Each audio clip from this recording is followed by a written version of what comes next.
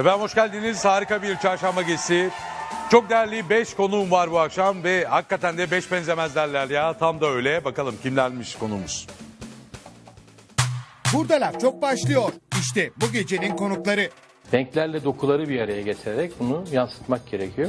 İş adamı Serdar İnan. Programa iş dünyasından katılıyor. Bu akşam Mesut Yer soruyor. Serdar İnan yanıtlıyor. Yani ne onlara onlara benziyorum ne onlara benziyorum. İşte Modacı Cemil İpekçi. Programa Affedin Beni adlı kitabıyla katılıyor.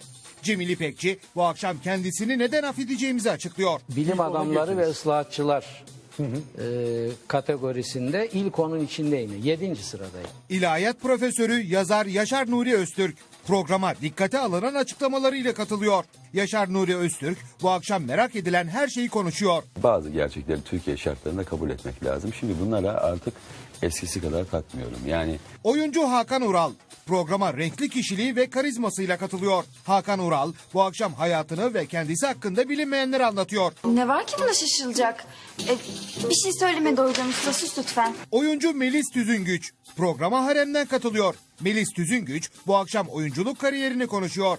Konuklar sadece Mesut Yar'ın konuğu olamaz. Benim de konuğum. Ben de soru sormak istiyorum diyorsanız eğer Twitter slash Mesut Yar ya da Twitter slash Burada Laf Çok'tan bize ulaşın. Efendim toplam 5 dakika sonra buradayız.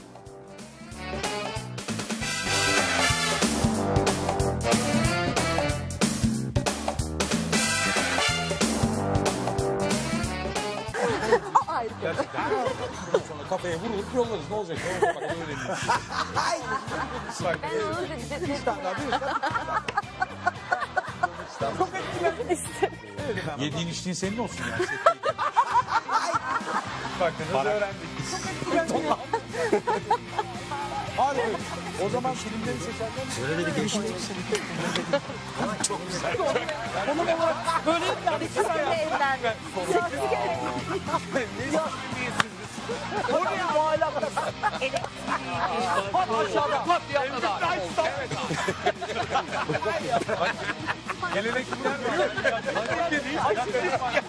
O hala bunun peşinde var ya.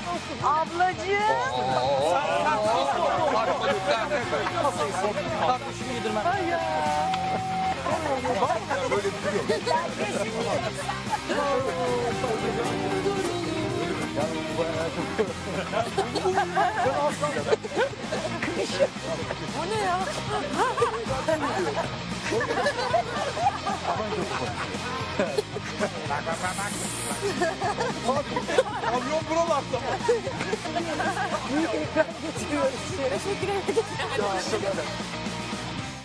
Efendim burada Laf Çok'a hoş geldiniz. An itibariyle Sayın Profesör Doktor Yaşar Nuri Öztürk e, konuğumuz. Hoş geldiniz hocam. E, Yaşar Nuri Öztürk'ü tek başına almak isterdim. E, fakat hakikaten cesaretim olmadığı için çünkü hani sabahı yaptıklarından dolayı dört değerli dostumu da yanında getirdim ki korusunlar diye. beni. Korumalarıyla beraber.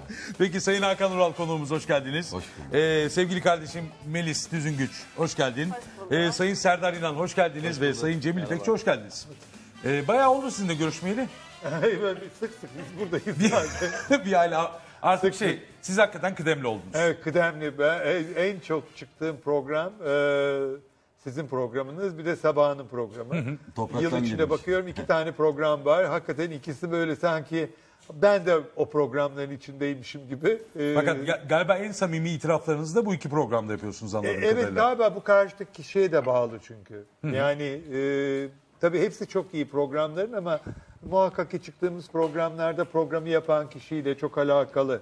E, o rahat rahat konuşmamız, e, rahat olmamız e, onunla çok bağlı. Ben çok rahat konuşurum ama bazen de böyle birdenbire e, Bir suskunluk geliyor size onun farkındayım. suskunluk geliyor çünkü öyle sorular soruyorlar ki yani cevabı kafamın içinde yok. O zaman harika. Bıyıklarınızı titreten bir şey var mı bu akşam? Hayır Aramızda. bıyıklarımı titreten hiçbir şey yok. Biraz evvel biraz küçük hanıma baktım. Ee, bu kadar güzel ve genç bir kız görünce e, ne kadar gözünde sürme de olsa bıyıklarım titriyor tabii. Yani. Ya gençlik başka bir şey. Onun için- Maşallah. Maşallah diye. Yaşar Hocam siz e, her işin başı sağlık. E, sizinle başlamak istiyorum. E, oradan başlayalım. Sabaya rağmen bu kadar sağlıklı olabilmenizi neye borçlusunuz? Sana göre sabaya rağmen bana göre sabah sayesinde de olabilir. Oh. Vallahi doğru. Hayır sohbeti çünkü çok Çok enteresan. Hoş. Yani orada gerçekten bir abi kardeş ama gibi çok temiz kalpli. ve Yani müthiş o sağlığı da her şeyi etkiler. Bu samimiyet başka bir şeydir. e, işte cuma yaptığınız programlar özellikle acayip izleniyor. Şimdi Cuma'ya aldık yine. Acayip izleniyor Çünkü ve e, Cuma saat geri kaydı. Cuma'dan bir buçuk saat sonra başlamış oluyor. Gayet güzel. Çünkü izleyenler Cuma'ya gidince Hocam kaçırmıyor mu? izleyemiyorlardı. Haklı Ha. olarak şikayetler vardı. O şimdi, şimdi, problem. siz de rahat rahat e, namazınızı kılıyorsunuz. Diğerleri de e, Kim kılıyorsa kılsın yani. ekranda olmak da ibadet midir? Bir şeyleri anlatmak. Meşru bütün fiiller ibadettir. Meşru fiiller derken tam açabilir miyiz? Çünkü Kur'an-ı Kerim'in üstü örtülen temel mesajlarından biri budur. İlke de şudur. Bütün yeryüzü mabet, bütün iyi eylemler meşru fiil diyoruz. Yani kötü bir şey değilse ibadettir. Yani niyet iyiyse ibadettir zaten. Bu kadar. Çalışmak da ibadettir. O da Çalışmak da değil. Zaten ibadet kelimesi, Kur'an-ı Kerim'deki ibadet kelimesi İbranice aboda'dan geçmedir. Kur'an-ı Kerim yabancı dilden çok kelime kullanıyor, İbranice'den çok kullanıyor. Aboda esasında çalışmak demektir. İş demektir, aksiyon demektir İbranice'de. Yani ibadetin manası o. Maalesef ibadeti Kur'an'ın anlayıp anlattığının tam ter- tersine uyuşukluğa dönüştürdüler. Dolayısıyla ibadet yani şimdi adam binanın en üst katında iki rekat namaz kıldı mı bu ibadet binanın zeminden iki kat aşağısında oksijenle ameliyat yapan adamın yaptığı iş ne oluyor? bir nevi o da ibadet. Ne bir nevisi ya hala kav çakıyorsun bak bir nevi. Esas ibadet o Kur'an'a göre. Yiyeceğim ağzıma tokatı kendime geleceğim. Yani vallahi bile. Eskilerin e, fıkıh kitaplarında çok güzel tekrarladıkları bir şey vardır. İbadeti mersume tabirini kullanırlar. Yani fotoğrafları ile ibadet olan şeyler. Biz bunlara ibadet diyoruz çünkü bunlar ucuz. Daha önemlisi bunlar riyakarlığa çok müsait. Riyakarlıkla ameliyat yapamazsınız. Bakar mısınız? Riyakarlıkla Cemil İpekçi'nin ürettiği modacılığı üretemezsiniz. O işi bilmeniz lazım mesela. işini demin söyledim. Ben, en e, iyi bilenlerden biri. Riyakarlıkla- işte. Riyakarlıkla çeki vaktinde ödeyemezsiniz. Ya ödeyeceksiniz ya ödemeyeceksiniz. Değil mi? Ha, ama riyakarlıkla namaz kılarsınız. Abdestsiz kılarsınız. Cünüp de kılarsınız. Riya ile hac yaparsınız, umre yapar. Tam tersine onlar riyaya müsaittir. Onun için Kur'an-ı Kerim, bakın nasıl bir kitap Kur'an-ı Kerim. Yani Kur'an-ı Kerim'i bin sene okutmadılar bizim insanımıza. Şimdi biz onu halka okutuyoruz. Yani halkın bunu okumasının lüzumunu halka anlattık. Hele şükür onu yaptık. Şimdi Kur'an-ı Kerim temel ibadetlerden biri olarak kabul ettiği birinci diyorlar o da yalandır. Kur'an-ı Kerim'e göre temel ibadet birinci ibadet okumaktır. Namaz sonralardan gelir. Her neyse ama temel ibadetlerden biridir. Şimdi o namazı kılmayanları Kur'an tehdit etmiyor, lanetlemiyor. Teşvik ediyor. Cenab-ı Hak'la yaratıcı ile diyalog. Siz varlığın bir parçasısınız. Varlığın esası da Cenab-ı Hak'tır. Felsefi manada Allah'ı biz felsefede, ben felsefe profesörüyüm benim esas kariyerim odur. Varlığın esası diye tanıtırız. Allah dersiniz, varlığın esası dersiniz. Din dilinde Allah. Onunla temasınız olacak. İbadet bu. Yapın bunu tamam ama Kur'an-ı Kerim bu namazı kılmayanları ne tehdit eder ne lanetler.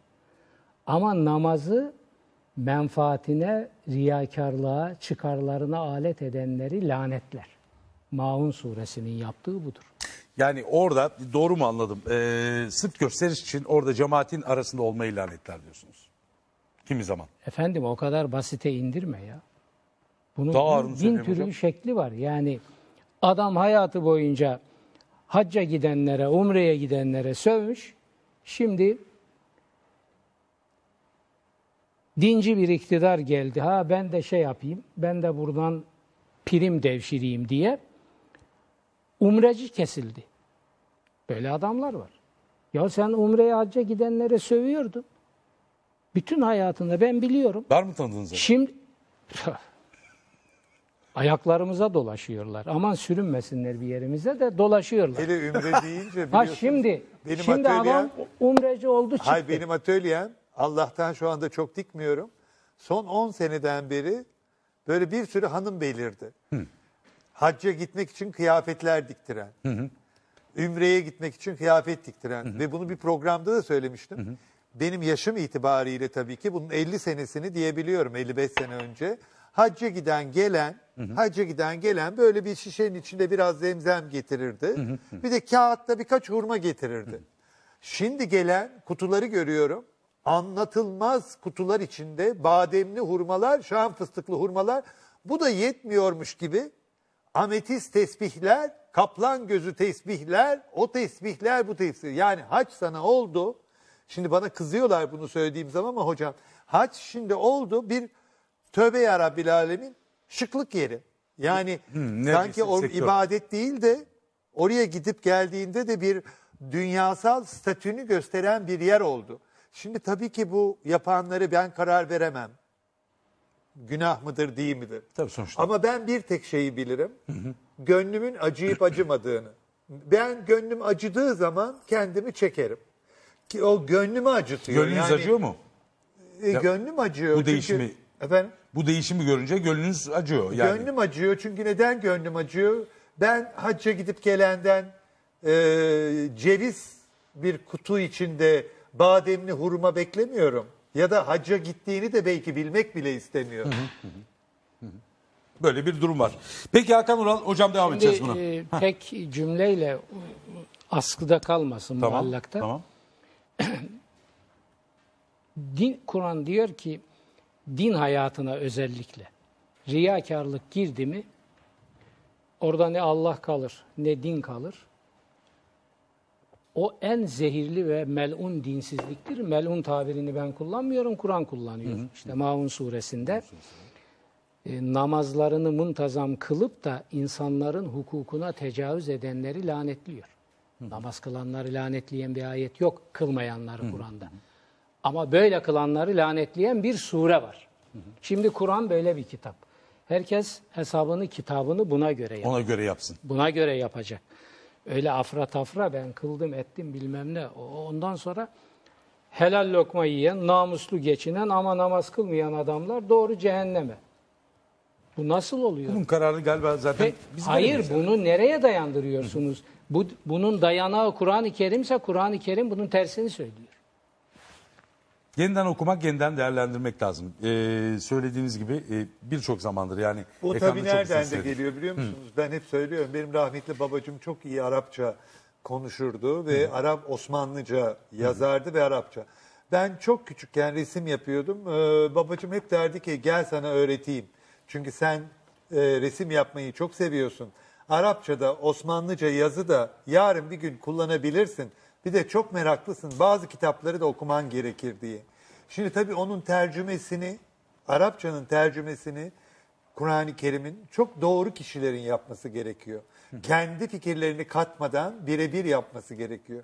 Çünkü Kur'an-ı Kerim'in Türkçesini okuyoruz ama ne kadarında doğru tercüme, var, ne kadarında yok. değildir onu da iyi ayırt etmek gerekiyor. Çünkü mesela Twitter'da bugün birisi bana böyle bir laf atmış ki hiç onunla alakalı bir şey Twitter'da size söylememiş. böyle laf atarlar mı? Ee, çok. Ben başka bir şey söylemiştim. Dedi ki e, Kur'an bizim Kur'an'ımızda bize bırak o zaman çok laf etme dedi. Ben de cevap olarak dedim ki Kur'an-ı Kerim sana gelmedi herkese geldi. Yani benim Kur'an-ı Kerim bizim Kur'an-ı Kerim'imizin lafını söyleyenin Zaten nasıl bir Kur'an-ı Kerim'dir? Kur'an-ı Kerim bir kişiye gelmedi ki. Ya Kur'an ben sen diye bir ayrım olması dünyaya kadar geldi. saçma bir şey. Şu andaki yalnız ülkemizde maalesef maalesef ve maalesef bunun acısını bilhassa bilhassa benim gibi olanlar yani görünümleriyle onlara uymayanlar ya da yaşam şekilleriyle inanç sorgulanmasındayız. Ben de şunu soruyorum yani Kur'an-ı Kerim'in neresinde bir kula hak verilmiş benim inancımı sorgulamak diye. Anladım. Şimdi bunların hepsine geleceğiz de ben şeye takıldım onu çok kısaca almak istiyorum. Twitter'dan size çok laf atıyorlar mı? Twitter'dan hayır çok az laf atıyorlar Allah'tan. Çünkü ben e, e, helva da derim, halva da derim. Allah'a şükür ağzım da iyi laf eder. Onun için de susmam da, hiç de çekinmem de, güzel cevabını da veririm. 80 bin takipçim var zannediyorum şu an itibariyle. Fakat yani 80 günde bir tane laf ola beri gele bir laf eden oluyor. Ama Yolda laf atarlar mı size? Gençliğinizde atıyorlardı. Efendim Gençliğinizde atıyorlardı yolda yürürken laf. Ya şimdi de yolda yürürken sahtekar bol tabii. Yani yüzüme gülüp hemen arkamdan iki tane dürtüşen var ama e, bir tek şey söyleyeceğim. Ben e, bir- biraz sonra da ona geleceğim. Bir yıldan beri Asya tarihini inceliyorum. Onu da sorarsanız, onu da sorarsanız niye inceliyorum bilmiyorum. Kore, Japonya dolaşıyorum. Hunlar hepsine bakıyorum. Bir yere vardım ki e, kitabımda da yazdım zaten. Demokrasi kelimesi aslında insanın uydurduğu bir kelime. Ona bakarsanız insanlar faşist doğuyor ama demokrat olmaya çalışıyor. Çünkü dünyada demokrasi diye bir şey insan bünyesine uymamış. Binlerce yıldan beri insanlar maalesef ve maalesef kötülük daha ağır basmış. Zaten basmasa 9900 peygamberle 4 tane kitap gelir miydi? Buna rağmen hala insanoğlu ne şehvet, ne para, ne mevki, ne makam, ne güzellikten vazgeçemiyor. Yani 20 bin yıl önce de bu, 10 bin yıl önce Sümerler'de de bu ama adlar değişmiş. Evet, İmparatorluklar, Ay bak, o kadar güldüm ki hele en son Japon tarihine e, bakıyorum. Yani bakıyorsunuz imparator gitmiş sarayı ama bu sefer de Cumhurbaşkanı, Başbakanı gene sarayda oturuyor. Yani onun emrinde 50 tane adam var. E bunda da 50 tane adam var. O süslü arabalara biniyormuş. Bu da bu zamanki arabalara biniyor. Ama halk gene aynı. Yani değişen insanoğlunda hiçbir şey görmüyorsunuz. İnsanlar hiçliğinin farkına varmadığı sürece, ölümlü olduğunu düşünmediği sürece, buna vakıf olmadığı sürece bence insanoğlu bu hayattan işte o demokrat olarak, demokrasi olarak ki bence inançla da çok alakalı ayrılamıyor. Anladım. Çünkü ilk önce kendi hiç olduğunun Farkına varması gerekiyor. varması gerekiyor. O zaman birazdan size hava bükücü, su bükücü, maden bükücü, e, ağaç bükücü gibi ve sonunda avatara e, varan kavramları da sorabilirim. Madem uzak doğuya girdiniz. Hakan Ural, abi e, senin büyük büyük deden e, Akbuyu ne içmiş de sizin ailede bir yaşlanmama durumu var kurban olduğumu. Valla onu babama sorman lazım. E, o da muhtemelen babasına soracak, o da babasına soracağı için senin bildiğin bir şey var mı hani bu hayat ağacında? Bir arkadaşım vardı benim kulakları çınlasın Hasan Ali Atasoy diye haberci bir arkadaşım. Kınlasın hakikaten Hasan Ali'nin. E, Kızıl maskeden örnek verirdi bana. Ormanda fantom ölümsüzdür derler diye. Espri yapardı da. Ya bilmiyoruz tabii o bir şans. Yani e, genetik izah edilebilir bir şey olsa gerek. Neden? Çünkü babamın bir büyüğü var amcam. Hani biz yine spor spor falan filan diyoruz da amcam pek e, yani bizim kadar en azından alakadar değildir. Fakat görüntüsü onun da bayağı şaşırtıcı derecede şeydir yani genç gösterir. Bir de hepiniz böyle tek yumurta ikizi gibisiniz ya. Yani yaş, yaş ortalamasını böyle bir 40'a 50'ye vardı mı herkes aynı yani. Şimdi kim baba kim oğul kim amca pek çıkartamıyor. Şimdi senin oğlan da geliyor. Geriden muhtemelen o da size benzeyecek diye kaç düşünüyorum. yaşında? 20.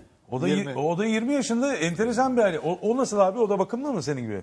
Yani sporcu oldu iyi e, yani o tabii ben belki evladım diye öyle görüyorum da o çok yakışıklı aslan gibi bir olan her baba Yok biz de evlatları görüyoruz şey yani. Ga- Zaman zaman gazetelerden görüyoruz yakışıklı aslan gibi. Maşallah Allah nazardan. Yine de hani böyle bir reçeteniz var mı? Yani sabahları şöyle iki ceviz yerim, Yani- öğlenleyin iki tane fındık kırarım, Yok bir şey vallahi yaparım. be, Hiçbir zaman yani ben tabii spor o bir bizim yaşam tarzımız. Yani ben çok zevk alarak yapıyorum sporu ama onun dışında hiçbir şeyime dikkat etmem. Yani ne e, krem ne şampuan ne bir ne bulsam kafama sürerim ederim. Hiç öyle bir ömrüm boyunca kendimle alakadar olmuş bir adam olmadım yani hayatım boyunca. E, demek ne yapacakmışız Hiç yani. Serdar Bey? ne Vallahi- bulursak kafamıza Aynen. sürecekmişiz. Bu yaştan biraz- sonra ben de Bu denemeye biraz başlayayım. genetikle, bu biraz genetikle alakalı. E, tabii genlerle, genlerle, Genlerle, genlerle mesela çok- ben baktım yaşlanmayanların çoğu muhakkak e, bir böyle Doğu Kafkasya kökenli oluyorlar. Yani genlerinde o Kafkasya'nın hangi bölgesi olursa olsun Gürcü, Kafkas o oranın ırkı garip bir ırk e, öyle yaşlanmıyor. Artık yani rüzgarından, daha suyundan genç neyse. duruyorlar. Ninemden biliyorum çünkü Erzincan asıllıydı ama Abi oralardan olayım siz gelmişler. nerelisiniz tam? Yani siz böyle hani hakikaten böyle enteresan bir şey var sizde. Erzurum var, araştırıyoruz. Erzurum Selanik yok. var. Hayır o yalan. Buradan söyleyeyim. Erzurum Erzurum, değil? Erzurum'la hiçbir yakından uzak. Horasan'la hiçbir Hayır, ilginiz yok Horas- mu? Horasan var. Erzincan'a e, değil. Safranbolu'ya gelen anneannem Karakeçi aşireti Horasan'dan göçmüşler Safranbolu'ya. Ama 700 yıl evvel. Ama Erzurum üzerinden gelmiş olmalılar. Erzurum'a hiç alakaları yok. Erzurum'a uğramamışlar bile. Doğrudan doğruya Safranbolu'ya gelmişler. uğrasalardı bir çayımızı hisselerdi kurban olayım. Biz. Erzurumluyuz Ama. Erzincanlı e, ninemin baba tarafı Erzincanlı Zaza. O Bağdat'a vali gittiği zaman e, ninemin anneanne, babaanne, annesi oluyor babaannesiyle evlenip cariye diye mi vermişler? Köle pazarından mı almış hiç bilemedik. Bir tane sarışın mavi gözlü büyük ninemle gelmiş. Ben onun için hem Zaza kanı var. Hem Arap kanı var. Arap ama Arap'ın hangisi bilmiyorum. Suriye mi, Bağdat mı, Irak'tan gelmiş ninemiz ama diyorsunuz. e, Safranbolu'dan bir Karakeçi aşireti var. Bir de babamın ailesi 1480'de e, Safarat bir aile, Yahudi bir aileymiş. O İspanya'dan kovuldukları zaman Osmanlı'ya sığınan e, 1552'lerde de böyle bir dedemiz olmuş. Allah rahmet eylesin, nurlarda yatırsın. Peygamber diye çıkmış ortaya ama peygamberlikle alakası olmayan Mesih'im diye Sabatay Sevi diye biri çıkmış. Ee, sonra da 1452'lerde 53'te Müslüman olmuşlar ama Bektaşi Müslüman olmuşlar. E zaten bir şey kalmadı yani sizin saydığınız bu yerler zaten dünya medeniyetleri o zaman öyle toplanmış. Yani içinde bir şeyiniz yok. Ay bana sordukları zaman şunu söylüyorum. Mesela Avrupa'da soruyorlar. E, nerelisiniz diyorlar. Diyorum ki Osmanlıyım, Türkiye Cumhuriyeti vatandaşıyım. Çünkü kendime herhangi bir ırkı söyleyemiyorum. Çünkü ben hangi ırktanım? Genlerimde bin tane ırk var. Yani Tatlı bir karışım. e, Türkiye oldu. Cumhuriyeti vatandaşıyım ama e, Osmanlı deyince hepsini kapsıyor. Eyvallah. Zaten onu, onu belli ediyorsunuz. Osmanlı deyince şimdi mevzu açıldı. Serdar Bey'e gelmeden edemeyeceğim. Bir imzanız var. Mimar Sinan'ın imzasına benziyor üstad. Bu şey mesleki bir şey mi? Yok derslerde, kolejde, sıra arkalarında ders çalışırken hani hoca Çok- ders ders verirken biz de biraz imza çalıştık ondan oldu. Ben şeyi merak ettim. Hem mimarsınız hem müteahhitsiniz. Şimdi e, mimara sanatçı gözüyle bakılır. Müteahhite e, biraz çok özür dilerim. Türkiye'de belki de ön yargıyla hafif böyle sonradan görme gözüyle bakılır. Efendim söyleyeyim mühendisliğiniz de var. E, ona büyük bir saygıyla bakılır. Bu üçünü bir arada taşımak bünyede bir hafif bir şey yan etki yapmıyor mu? Şimdi buraya güzel bir karma yapsın Mesut'u. Beş güzel, benzemez. Güzel, heh, güzel bir karma yapsın. benzemez Ben de biraz anda. kendi içimde öyleyim. Hanıma soruyorum diyorum ki kaç kocan oldu bugüne kadar? Diyor ki 40'ı geçtik diyor. Allah'a Hayırdır? şükür diyor. Yenge sevgiler saygılar. Şimdi balık burcuyum ben. Yükselenim aslan. Evet. Erzincan doğumluyum. Anadolu çocuğuyum. Robert Koleji bitirdim. Yani her bir şeyden var içimde. Ne yapayım? Bunları neyi katarsınız? Hele balıkla arslan bir arada yani dünyada duruyoruz. nasıl bir şey biliyor musun? Çünkü iki tane birbiriyle çok zor anlaşan iki burç. Balık Ve ve adam arslan. tek bünyede toplamış onu. Ve bu tek bünyede olduğunda e, tabii ben de ona ben, onun tersiyim. Tam tersiyim. E, arslan yengeçim.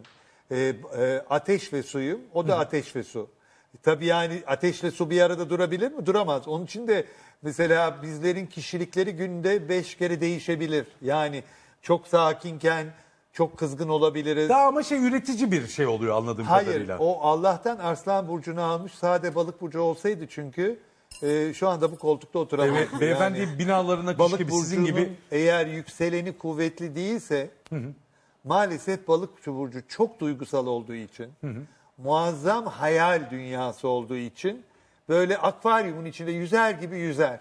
Muhakkak ona bir güçlü böyle başak gibi, boğa gibi, oğlak gibi, arslan gibi hatta deli yay gibi böyle bir terazi yükselen falan. gerekiyor. bir yer yükselen, çıktı. gerekiyor. çıkmadı.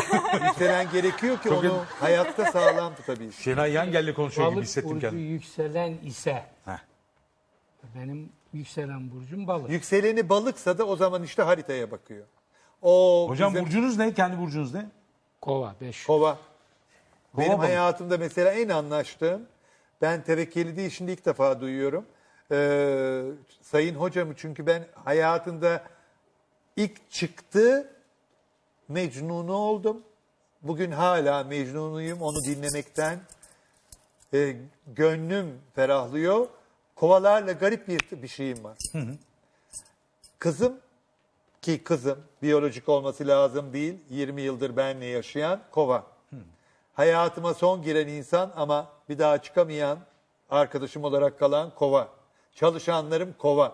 Kovalarla benim haritamda muazzam bir şey var. Kovalarla dostum var ya. Kovalarla arkadaş. Hayır çünkü kovaların bir tarafı var ki çok muazzam bir tarafları var. Önleri arkaları aynı.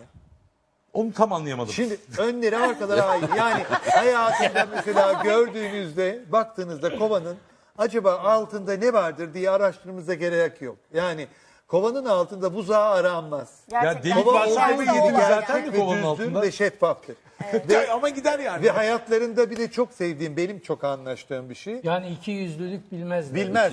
Katiyen. Ya Katiyen güzel bilemez. Evet. Dangadak söyler zaten yalan da söylüyorsa iki saniyede yüzünden Anlaşılır. belli. Söylememesi daha hayırlı. 2013 kehanetlerini birazdan Hayır, söyle- Cemil İpekçi'den alacağız gibi geliyor bize. Söylememesi daha hayırlı. Bir de kovanın sevdiğim tarafı ben Arslan Burcu'yum ama haritama göre de öyle. Hürriyetime çok düşkünüm. Güzel. Ve kova burçları da hürriyetlerine çok düşkün. Ama kovanın güzel bir tarafı var. Kıskançlığı var ama lezzetli bir kıskançlığı var. Karşısında da insan olarak onun da hürriyetine saygı gösteriyor. Yani onun da boş vaktine saygı gösteriyor. Onun da hayatına saygı Demokrat gösteriyor. yani şöyle Tabii demin yani dediğiniz gibi faşist olarak burcuyla- doğup demokrat olan e, bir şey midir? Burç Çok mudur kova? demokrat bir burçtur ve hayatında çok lezzetli gördüğüm bir burçtur. Ay, Fakat güzel. yay burcu benim grubumun bir kere hayatıma sokmaya kalktım. Çenem elimde eve döndü. yani kıskançlıkları... Çeneniz elinizde nasıl evlendiniz? Birazdan zaten kitapta soracağım. Siz de o burçlar arasında kaynadı Mimar Benim Sinan. benim benim eşim kova. Ben kovadaki balığım. Dönüp dönüp duruyoruz kovanın içinde. Of ya harika. Yani bir eş Ama için, iyi bir birleşim. bir, bir eş için e, en güzel söylenen e, sözlü Melis katıldığın için çok teşekkür ediyorum. Kısa bir reklam arasından sonra birlikteyiz.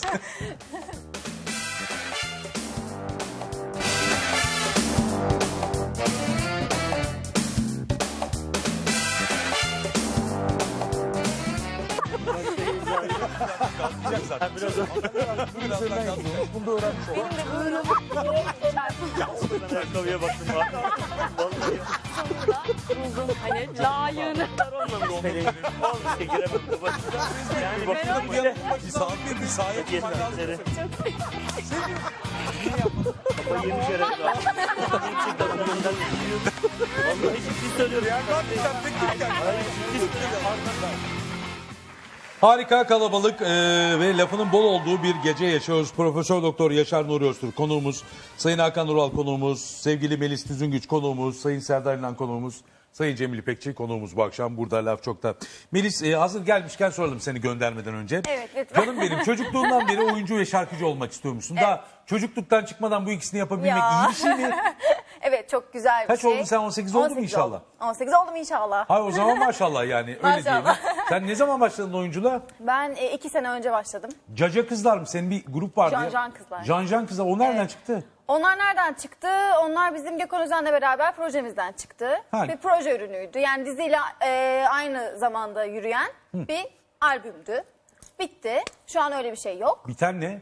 Can Albüm Can Kızlar olayı, albüm olayı, müzik olayı bitti. Şu an ben... olmadı mı yani? Hani kötü mü söylediniz? Hayır çok güzel söyledin. Çok güzel söylediniz ama niye bitti ya o zaman? Devam etseydi iyiydi öyle. Kaderinde yokmuş diyelim. Bitti. Ha kaderinde yokmuş ama mesela sen şöyle de dedim mesela e, şeyde o grupta ayağı yere basan efendime söyleyeyim e, en sağlam bendim diyorsun o grup Bendim. ekibi. Öyle mi? Biraz kendini seviyor musun sen bu Ben yaşta? kendimi çok seviyorum. Bu yaşta çok seviyorum. E iyi başlamışsın bak bu iyi bir şey değil mi özgüven kendine? E, bu iyi bir şey. Yani bunu e, bazen ne yazık ki ukalalıkla e, adlandıran insanlar oluyor ama ben bunu ukalalık diye yapmıyorum. Ben kendimi seviyorum. Yaptığım şeyi seviyorum. İnşallah hakkını veririm. İyi güzel şapka nereden çıktı bu? Şapka- Şapkası çıkmaz mısın? Genelde. Şapkasız çıkmam abi Ya falan biz senin, biz senin gölden çıkmış halini biliyoruz. Şimdi göstermeyeceğim onu. Burada Pardon. büyüklerim var. Büyüklerin yanında o sahneyi göstermek istemem ama son oynadığı dizinin adı Harem. Harem. Ee, nasıl hissediyorsun şimdi kendini? Bildiğin has odasın. Değil mi? Yani şurası has oda evet, yani. evet. Nasıl hissediyorum? İyi hissediyorum gayet. Hiçbir problem yok. Hmm, gayet güzel. Ee, biraz şey tabii ki mizahi bir Evet, bakış. Ee, ne Basuristan bakışı. Evet Basur. Ba- Basurlular. Basurlularısın. Evet. Basurluların da şeysin değil mi? Prensesi. Basurların oluyorsun. Adın prensesiyim. neydi orada? Balkız. Balkız. İsmi de Balkız koymuşlar. Hakikaten böyle bal derisi gibi akıyor. Vallahi çok da güzel. Kendisi Allah bağışlasın sahibine öyle diyelim. Hakan e, sana şunu sorma. Oyunculuk üzerine kaldı bir kere. Hani ihaleyi almış gibi. Hani böyle müteahhitler girerler ihaleye. Sen ihaleleri aldın. E, bu babadan kaynaklanan bir şey değil. Çünkü baba oyuncu da değil. Evet. E, oyunculuk ama kaldı üzerine. Son işinde Araf'tı. E, Araf da biraz Araf'ta kalınca ne düşünüyorsun abi? Devam edecek misin oyunculuğa? Bir B planın var mı senin? Yani oyunculuğun dışında ne yapıyorsun? Yani e, hiçbir şeyi e, planlamıyorum. Yani birinci mesleğimiz oyunculuk. Bir kere mesleğimi çok seviyorum. Elde var bir. 27-28 senede çok genç girdiğim için e, başka bir iş bilmiyorum yani Mesut. E, Bunun yanında tabii sosyal hayatımızdan bir takım teklifler geliyor. Yani e, bazen bunlar bizi cezbediyor. Elimizden geldiğince nacizane icra etmeye çalışıyoruz ama yani ne kadar onda muvaffak olursun o başka bir şey. Fakat mesleğimi çok seviyorum. Tabii onun da e, geç olgunlaştık. Yani e, yaş ilerledikçe hayata daha farklı bakıyorsun. Daha farklı değerlendiriyorsun. E, geçmişimizde işimizi yaparken e, al- e, ciddiye almadığımızın farkına vardık. Yani işimiz Öyle mi? yeterince maalesef öz eleştiri açısından. E, şimdi son dönemlerde daha titizleniyoruz falan.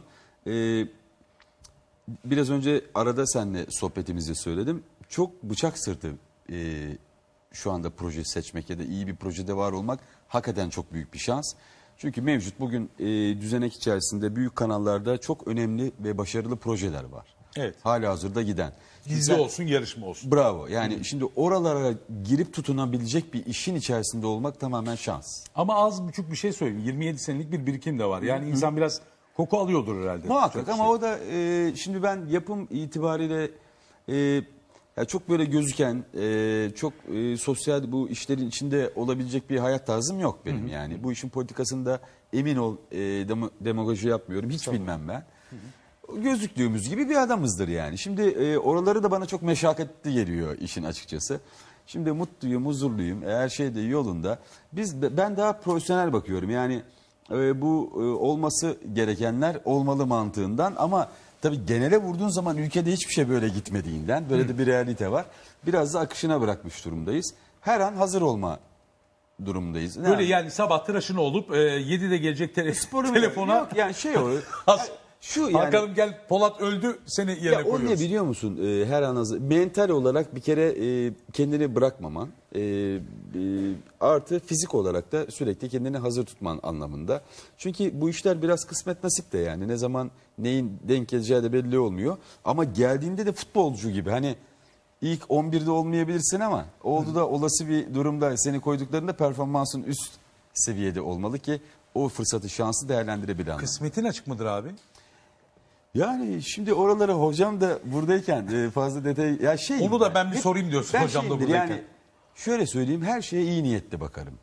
Ee, yani şimdi inancım hepimizin kendine göre e, sonsuz e, e, şeyimdir yani e, pozitif bakmaya gayret eden bir insanımdır. E, zaman zaman ikilemlere düşmüyor değilim. O da bizim hocamızla da sohbet ederken bir takım haksızlıkları, adaletsizlikleri e, farkında olma duygusu içerisinde bazen karamsarlığa kapıldığımız oluyor ama bu sefer de onları inancımızla muhakkak ki aşıyoruz. E, Şey yani ya nasip kısmet diyoruz. Yani öyle bir durum ki e, bir taraftan hani kalk git öteki taraftan oturdur mu tabiri caizse. Anla- çok iyi. Çok Anlatabildim iyi. mi? Anladım. Gayet güzel anlattın. Özellikle böyle yapmış olalım. Özellikle e, öyle o üç noktaları da bilenler bilmeyenlere anlatsın ve doldursunlar lütfen. Şimdi e, Serdar Bey inşaat sektöründeki isimler bu benim çok dikkatimi çekiyor. Giderek pop yıldızı gibiler artık. E, hakikaten pop yıldızları ne kadar popülerse e, inşaat sektöründeki isimler de öyle. E, mesela ben sizi e, kişisel tanımadan önce tanıdıktan sonra da mesela bir şeyiniz bir reklam filminize yayınlandı. Çok etkilenmiştim. Çocukluğunuzu anlatıyorsunuz. E, bir fasulyeden bir fide yapmıştınız ve E, hakikaten de etkileyici bir şeydi. E, bunlar da klibiniz mi oluyor abi?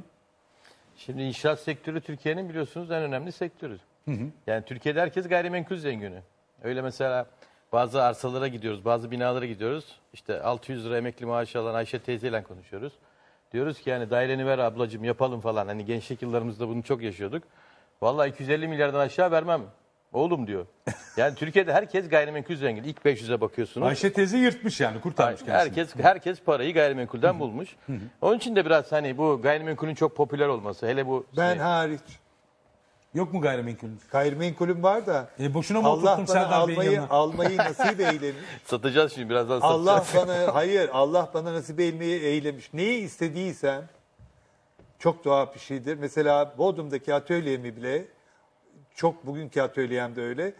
Ee, Mina Urgan'ın eviydi o rahmetli, Rahmetli Mina anılarını yazan. Ve ben e, satılıyor dendi. E, gittim almak için. Bundan 15 sene evvelinin bir parasıyla bir para istediler. Benim de öyle bir param yok. Yalnız kapıdan çıkarken dedim ki Mina burayı bana nasip eyle sen dedim. Çıktım. Aradan iki sene geçti. Biri dokundu dedi ki o ev hala satılık. Cebimde de adamın söylediği miktar kadar bir para var. O zamanki paranın dörtte biri kadar gene benim oldu. Bugünkü atölyemi içini görmeden kapısını gördüm böyle siyah demir kapı. Sen benimsin dedim. Aradan 7 sene geçti. 7 sene sonra benim oldu. Allah veriyor. Satmaya kalktığım zaman kardeşim benimki mesela 200 metrekare saray. Yanımdaki gece kondu. O satılıyor benimki satılmıyor. Ama. E, demek ki o kadar değil çok istemişsiniz ki.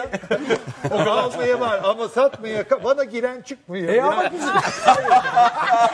Harikaymış. Ne kadar bir şeyiniz var. Evet ya giren çıkmıyor kardeşim kalıyor orada yani. Hayatımın hayır sadece hayır sadece o kısmında değil. Hayır zaten hayır şakası bir yana. Ya bir de- tabii ki hayır, şakası. şakası bir yana açıkçası söyleyeceğim. Yani sade malda mülkte değil zaten ömrüme hayatıma giren de çıkmıyor. Yani, o öyle maşallah. Ya, Hayır, iyi de bir şey. giriyor. Gayrimenkul çok mu bu durumda? Yani her Hayır, istediğinizi yok. böyle Hayır yok Allah'ıma şükür yazdım, kıştım. Bir iki şey kendimden alabildiğim var ama ben aldıklarım tabii çok muhteşem görünüyor ama hep aldıklarım üç kuruşa aldığım paramparça şeylerdi. Ben onları kendim işte kapısını alarak koyarak. E, içine- özür dilerim de siz Cemil İpekçisiniz yani. yani, O- onlar bir yapın. saraya dönüştü. Saraya Ya dönüştüler ama çok, yani. Çok mütevazı. Onları da saray yaptık. Küçük şeyleri aldık. Enkaz devraldık ama saraya çevirdik. E, Ben bir sultanım. Bu doğuştan söylüyorum. Yani ben 5 yaşındaymışım söylüyormuşum. Çubuklu'daki o köşkte doğduğum zaman çok büyük bir köşkü. 22 odalı annemin köşkü. Sultan işte. derken sultanın çeşitleri Hasan var. Bey'in e, bu Yağmı Hasan'ın böreğinin torunuyum ben. E, Karaköy börekçisi Hasan Bey'in torunuyum. O köşkte doğduğum zaman kardeşlerim değil ama ben dadımla dolaşırken zaten bana soranlara ben sultanım derdim. Nedir Ben ama yani sultanım, Kanuni yani- de sultan, Hürrem de sultan. Hangisi? Ben, Ben modanın sultanım. hürremiyim. Ben de sen sus sultanım sen harem, haremdesin daha. Sen haremdesin. Ben modanın Modanın hürremiyim. sultanıyım. Çünkü e, onun kadar 41 sene ayakta kalabilmek için entrikam oldu. Yani 41 sene öyle kolay sütten Harem çıkmış entrikaları gibi yani. kalmadım. Harem entrikaları. Hocam tespihi çıkardığınıza göre Allah Allah diyorum ben başka bir şey söyleyeyim. ya böyle bir, bir- biraz sert bir imajınız var hocam. Oysa ki şimdi az önce Twitter'dan e, hakikaten ilk görer e, görür görmez e, izleyicilerim sizi. Hocam çok yakışıklı olmuş. Hocam çok yakışıklı olmuş. Demek bu sabah kötü gösteriyor hocamı. Yeterince yakışıklı göstermiyormuş. Ya sabahın aleyhinde konuşmayın. İtiraz ben- edin. Akıllı İleri geri konuşurum. Üstelik ileri geri konuşurum. akıllı ol. E, sabah bana bir girdi o da benden çıkamadı. Hocam ne yapayım öyle güzel bir sarışın kadınla şey yapıyorsun. Yani şimdi benim gibi kıllı kuburlu Şimdi o- çirkin bir adamla program yapmak var. Giren çıkan hikayesini bilmem ben. Yalnız Sabah iyi bir programcı. Müthiş. Ve ben Sabah'a milyonların önünde Kur'an okutarak açıklıyorum. Şimdi onun hakkında iyi şeyler söyleyeyim. Harika. Yakışıklılığınızdan o da etkileniyor mu? O zaman oradan başlayalım. Ya yakışıklı neyse. Değil misiniz yani? Kendinizi yakışıklı bulmuyor musunuz? Yani yok bir şey demiyorum. Yani her yaşın bir güzelliği var ve siz de e, tekrar galiba Ya at binmelere bizi başlamışsınız. yaratan yakışıklı bulmuş ki yaratmış. Şimdi ona itiraz mı edeceğiz? Benim benim hiçbir şikayetim benim olmadı. Hmm. Yani hayatı verenin verdiğinden hiçbir şikayetim olmadı. Ya. Dört buçuk saat ameliyat masasında Bir de bakımlı olmak İdim. çok önemli.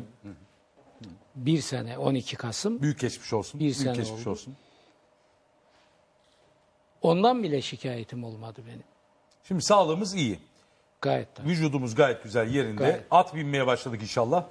at geliyor. Azerbaycan'dan Azerbaycan'dan at geliyor. geliyor. Evet haberi geldi. At, atım çünkü gitmişti. Ya bir buçuk sene ben at. Nereden bilecektim? Tedavi süreci bir, bir yıl. E ondan önce de deniz vardı. Denizdeydik falan. Yüzüyordunuz. E, Yüz, yüzmeden geldik ameliyata gittik zaten. Neyse. Şimdi e, at geliyor. At geliyor ve binilecek. Geliyor at, atsız bir dünya yok. Ne kadar yani günde her gün biniyor musunuz düzenli olarak? Her gün nereden gideceğim? Ya o zaman kitapları kim yazacak? Anladım. Ama haftada 3, en az 2, 4 gün gidiyoruz. Siz de Karadenizlisiniz. Ali Ağoğlu gibi mi biniyorsunuz ata? O bayağı bir geçenlerde bil- gördüm. Bilmem. Sizin bir tekniğiniz var mı özel? Malkoçoğlu tekniği olabilir. Bir sürü teknik var yani. Hayır ya ben profesyonel binici değilim. Atı seviyorum bir defa. At hani İnsana en yakın hayvan derler. Bergson intüisyonizminde at bir numaralı varlıktır. Sezgileri çok kuvvetli fakat bu bazen bizim aleyhimize işliyor. Çünkü 8 metre sonra orada yolda debelenecek olan yılanı buradan hisseder. Yani ne oluyor bu ata dersiniz. Huysuzlanır. Mesela bir hızar sesine ormanda aniden çıkan o motorlu hızarlar var ya. Benim Yusuf İngiliz atı bir şahlandı. Eğer ensesine sarılarak yarı düşme pozisyonuna geçmesem 2.20 eğerin üstünden yere uzaklığı. Ay maşallah ya. Parçalar sizi. İngiliz atı. Evet. Bu size gelecek olan Azerbaycan'dan nedir o? Onu daha bilmiyorum. Bir takım atlar gönderiyor o zat. İsminin Abi nedir bu? Hani şeyle kargoyla mı gönderecekler? Nasıl seçeceksiniz yani? Hayır. Görmeden. Ya bir dakika Mesut dur. Hediyeymiş. Ama ne bileyim. ya, Atları bana bilgisayardan gönderiyor internetten. Bak diyor bunlardan birini seç ben sana hediye edeceğim. Hangisi? Tabii şeyi de çok önemli. Hayırlı bir şeymiş. Gayet. Ama şey de önemli herhalde yani e, at çok insana yakın bir varlık. Yani geldiğindeki e, o temas da çok önemli o sevgiyi seçerken. Gayet. Çünkü Onu kurarız Cemil Bey. O problem olmaz. Yani ata e, siz at gibi davranmazsanız at sizle e, bir saatte o ünsiyeti kurar. Yeter ki o içinizde olsun. Bir şey bir sıcaklık kurabiliyor. Evet tabii. At Peki- onu hemen hisseder. Hocam yani ben şeyi merak ediyorum. Tabii bakınız at da konuşuluyormuş. Yani sizinle sadece dinle ilgili mi konuşulur? Ben merak ederim. Mesela Yaşar Nuri ne yemekten hoşlanır? Nerelere gitmekten hoşlanır? Ben Nerede de çok, tatil yapmaktan çok şey hoşlanır? konuşursun. Bunun için iki şey lazım. Samimiyet lazım. İkincisi de konuşmasını bileceksin. Tamam bu ikisi de bende olmadığına Ama- göre biz sizinle... Din konuşursun, spor konuşursun. Ben e, 30 yıla yakın profesyonel spor yaptım mesela. Konuşursun. Judo falan var mı Müzik konu, judo benim sporum. Judoydu. Müzik konuşursun. Çok ciddi biçimde benim hayatımda o var. Allah aşkına bir burada duralım. Müzik konuşursun deyince bir duralım. Çünkü bir VTR'miz var. Bunu hep birlikte Ay, konuşmak tamam, üzere. gelecek. Lütfen yani şimdi burada... Gelecek şimdi. E ama ne yapalım Kaldır yani? küldür uşak şarkı. Bir- ama biz de biriktiriyoruz hocam yani her zaman böyle görmüyoruz ki. Verelim arkadaşlar lütfen. Bu ateşi sen yaktın içime Gel de sen söndür Gel de sen söndür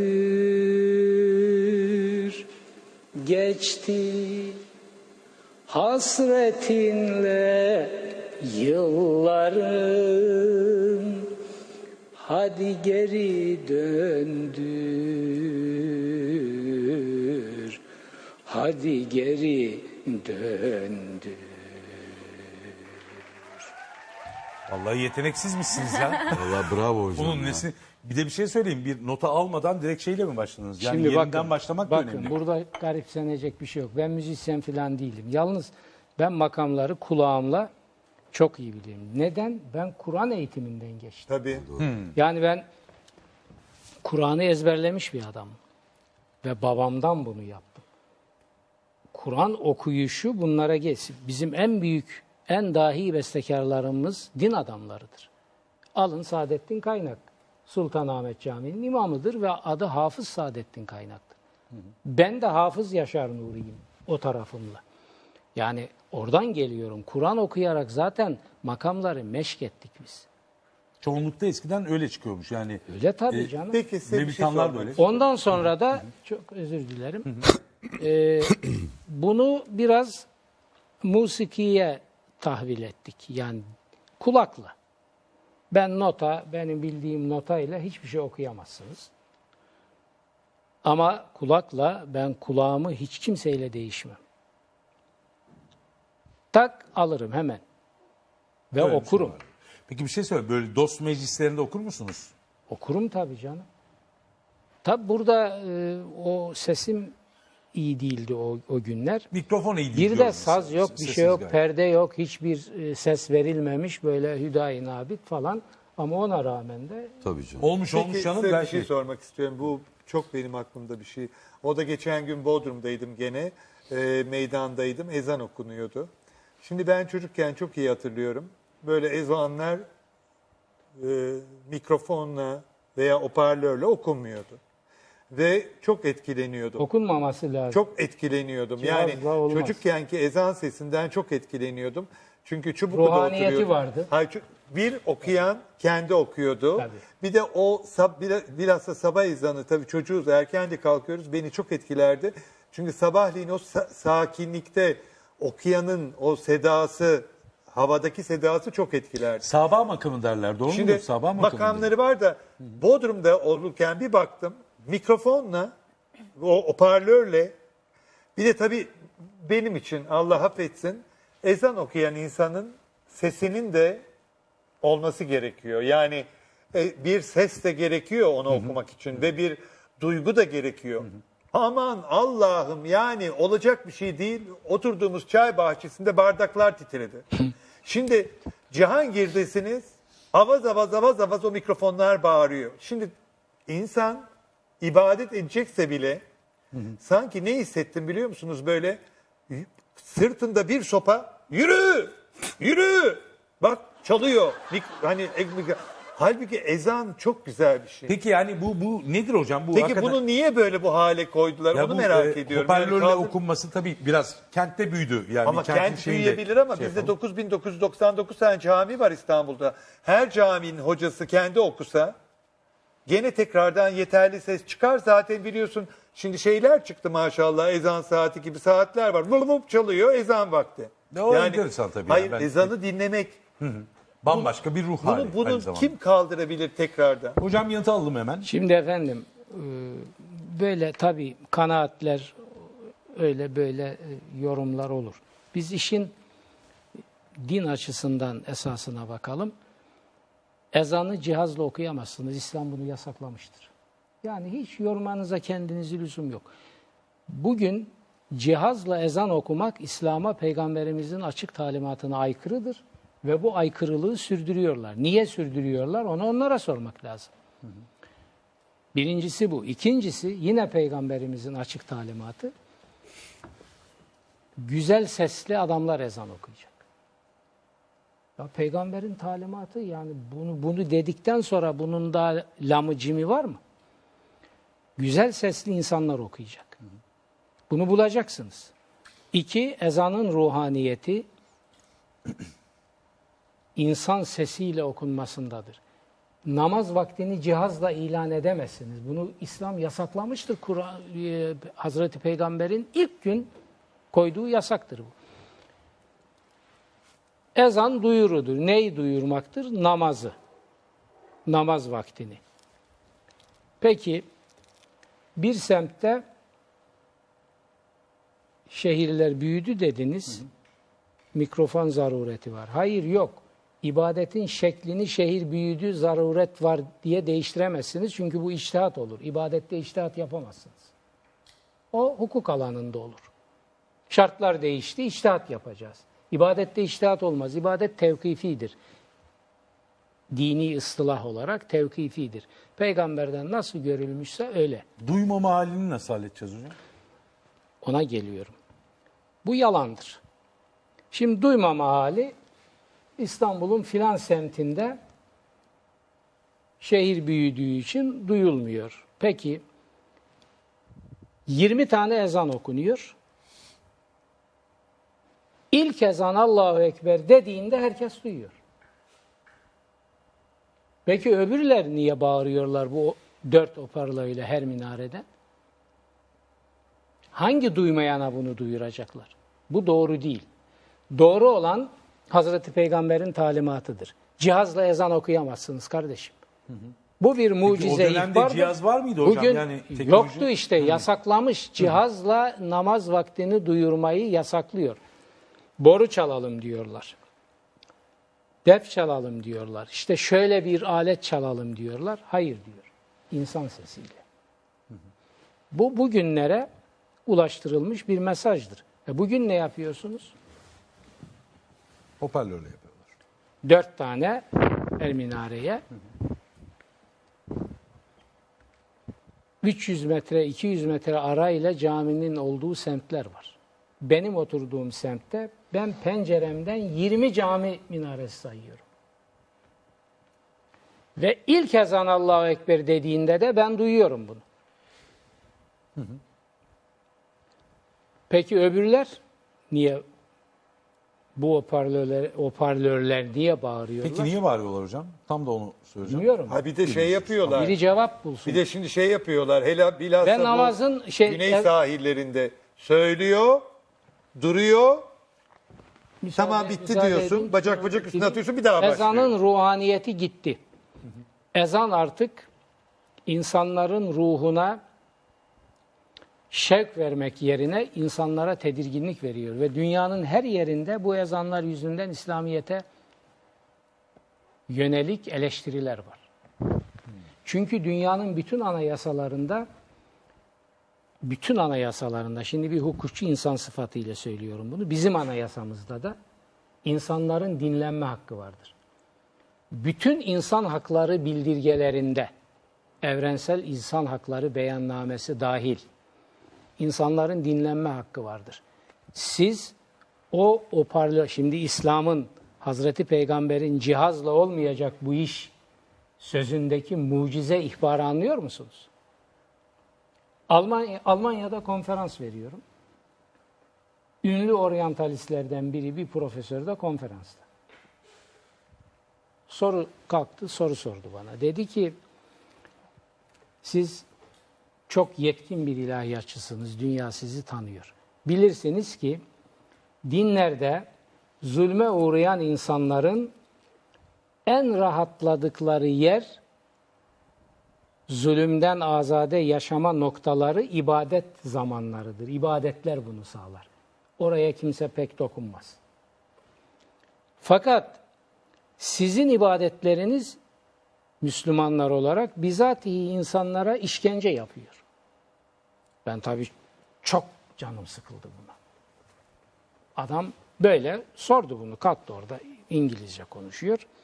Bu manalarda böyle çok ağır biçimde bir ithamla bir soru sordu. Dedim ki siz galiba iki şeyi birbirine karıştırıyorsunuz. Tabii meseleyi getirdi bu hoparlörle okunan ezanlara. Ben dedi seyahate gittiğim zaman otelimde rahat uyuyamıyorum dedi. Sizin ibadetinizin benim bu hakkımı ihlal etmeye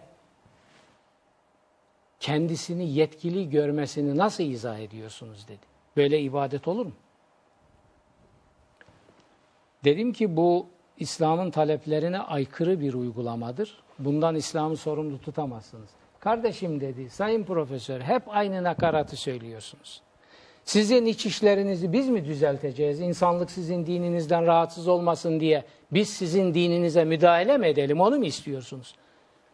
Bakın diyorsunuz ki İslamiyet'in taleplerine aykırıdır bu. Cihazla okunmaması lazım ezan. Niye yapmıyorsunuz kardeşim dedi. Bir, biz rahatsız oluyoruz.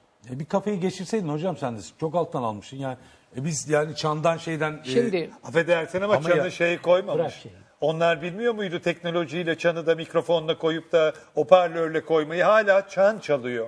Hı, ama büyük çanlar. Ama binlerce Bakın çan onu- çalıyor. Yani onlar Cemil Bey bilmiyor o muydu? çanın bile çalınmasını Hazreti Peygamber namaz vaktinin duyurulması için kabul etmemiş, yasaklamıştır. Tabii. Onu bile yasaklamıştır. Siz şimdi bu hoparlörleri neyle izah edeceksiniz?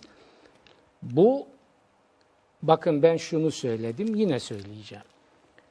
Bu hoparlörlerle okunan ezanlarla kılınan namazlar o hoparlörlerin insan haklarında yarattığı ihlallerin faturasını ödemeye yetmez. İşe hukukçu gözünden bakarsak. Hukukçu ve din. Din gözünden bakar. Ben bir mimar gözünden merak ediyorum. Yani Bir şuraya ama yani. geleceğiz. Ezanın ruhaniyeti ve ezanın hakikaten İslam'ın temel ibadetlerinden biri olan namaza duyuru aracı olması İslami ve Muhammedi ruhaniyetiyle okunmasına bağlı o da insan sesiyle. Anladım. Bunun dünya ölçeğinde derhal dur- durdurulması lazım. Bu herhalde tartışılır. Sonuçta e, İnsan sesiyle okuyacak bunu. anladım. Güzelliği de orada, etkisi de orada, ruhaniyeti de orada, sevabı da orada. Geriye ne kalıyor? Geriye inat kalıyor. Tamam şimdi din ve bilim bunu söylüyor. Ben mimari açıdan bir ilgilenmek istiyorum. Hani sonuçta siz e, uydu kentler yaptınız, e, şehirler yapıyorsunuz, kentler kuruyorsunuz. E, bir de böyle bir tartışma var. Bunu dikkate alıyor musunuz mesela yaptığınız şeylerde ya da e, kriterleriniz? e, İslam hoşgörü dinidir Mesut Bey. Yani İslam'da bir insanın kendi ibadetini yaparken başkasının hürriyetine, başkasının özgürlüğüne tecavüz etmesi ya da işte ben Müslümanım, sen Hristiyansın, ben senden daha iyiyim dediğin zaman zaten İslam'ın ana temeline aykırı hareket ediyorsunuz. Yani mimari de zaten bütün dinler için, bütün insanlar için, ateizm için de, ateistler için de e, insan yararına oluşmuştur. Yani her şey zaten insan içindir.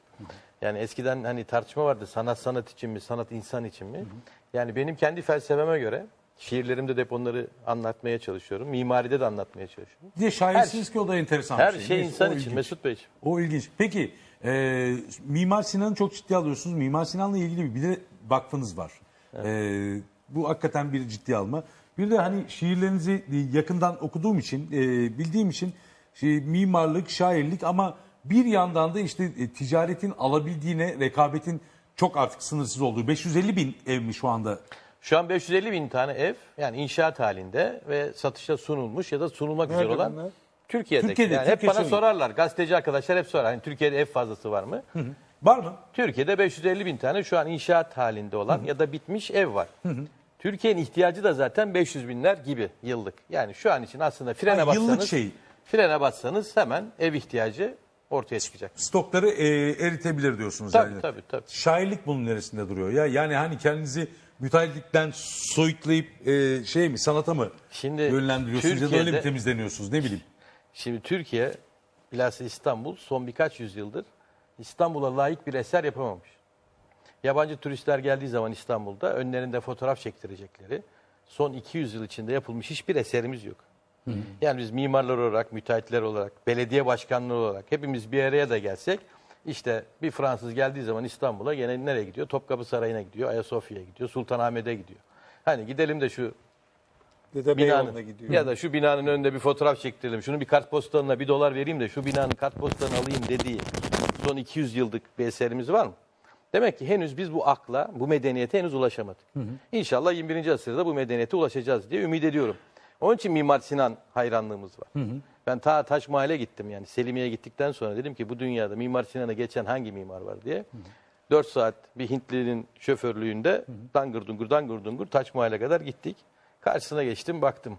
Şimdi ustalık eseri dediğiniz zaman o binadan en ufak bir parçayı anlamamanız, o binaya en ufak bir şey ekleyememeniz lazım. Ben Selimiye'de bunu yaşadım. Selimiye'ye hiçbir parçasını Selimiye'nin ayıramazsınız. Öylesine muhteşem bir eser. Taç Mahal belki Selimiye'nin 3 katı 4 katı pahalılıkta yapılmış muhteşem motifler olan, bembeyaz mermerler içinde olan bir eser. Önünde de işte bir göleti var. O gölete düşen bir izi var falan ama işte ona baktığınız zaman acaba diyorsun ki şu kubbenin yanında şöyle ufak ufak minareleri var küçük küçük. Arkadaşlar açsın baksın. Hani şunlar adamı bir koparası geliyor yani. Olmamış. Koparsan da tam olmuyor. İşte o muhteşem esere tam anlamıyla da yakışmamış yani. Peki siz şey yapıyor musunuz? E, şimdi yine şiirle e, gireceğim. E, şiir gibi ev yapma şeyiniz var mı? Hayaliniz. Hayaliniz ne? Şimdi biz bugüne kadar şirket olarak 220 tane bina yaptık. Çok iyi anlatamazsanız ben de Enver Aysever Ali Ağoğlu'nun e, saatini kaptı. ben de sizin saati kapacağım. E, yalnız ben kimseye bahşetmeyeceğim. Kendime bağışlayacağım. Muhteşem bir saati var. Öyle bir Şimdi şey var. 220 tane biz bugüne kadar bina yaptık. Evet. Ha, ben 22 senelik mimarım. 22 sene oldu mezun olalı. 120 tane proje yapmışım. Proje gerçekleştirmişim. Ha şuraya baktığım zaman daha yeni yeni çıraklık eserlerini yapacak hale geldim diye kendime söylüyorum. Gerçekten de güzel binalar yapıyoruz, güzel projeler yapıyoruz ama mimarlık o kadar geniş bir yelpaze ki içinde felsefesi var, sanat var, renk bilgisi var, mekanik var, elektriği bileceksin, statiği bileceksin. Zeminden anlayacaksın, müşteri memnuniyetini bileceksin, reklam yapmayı bileceksin.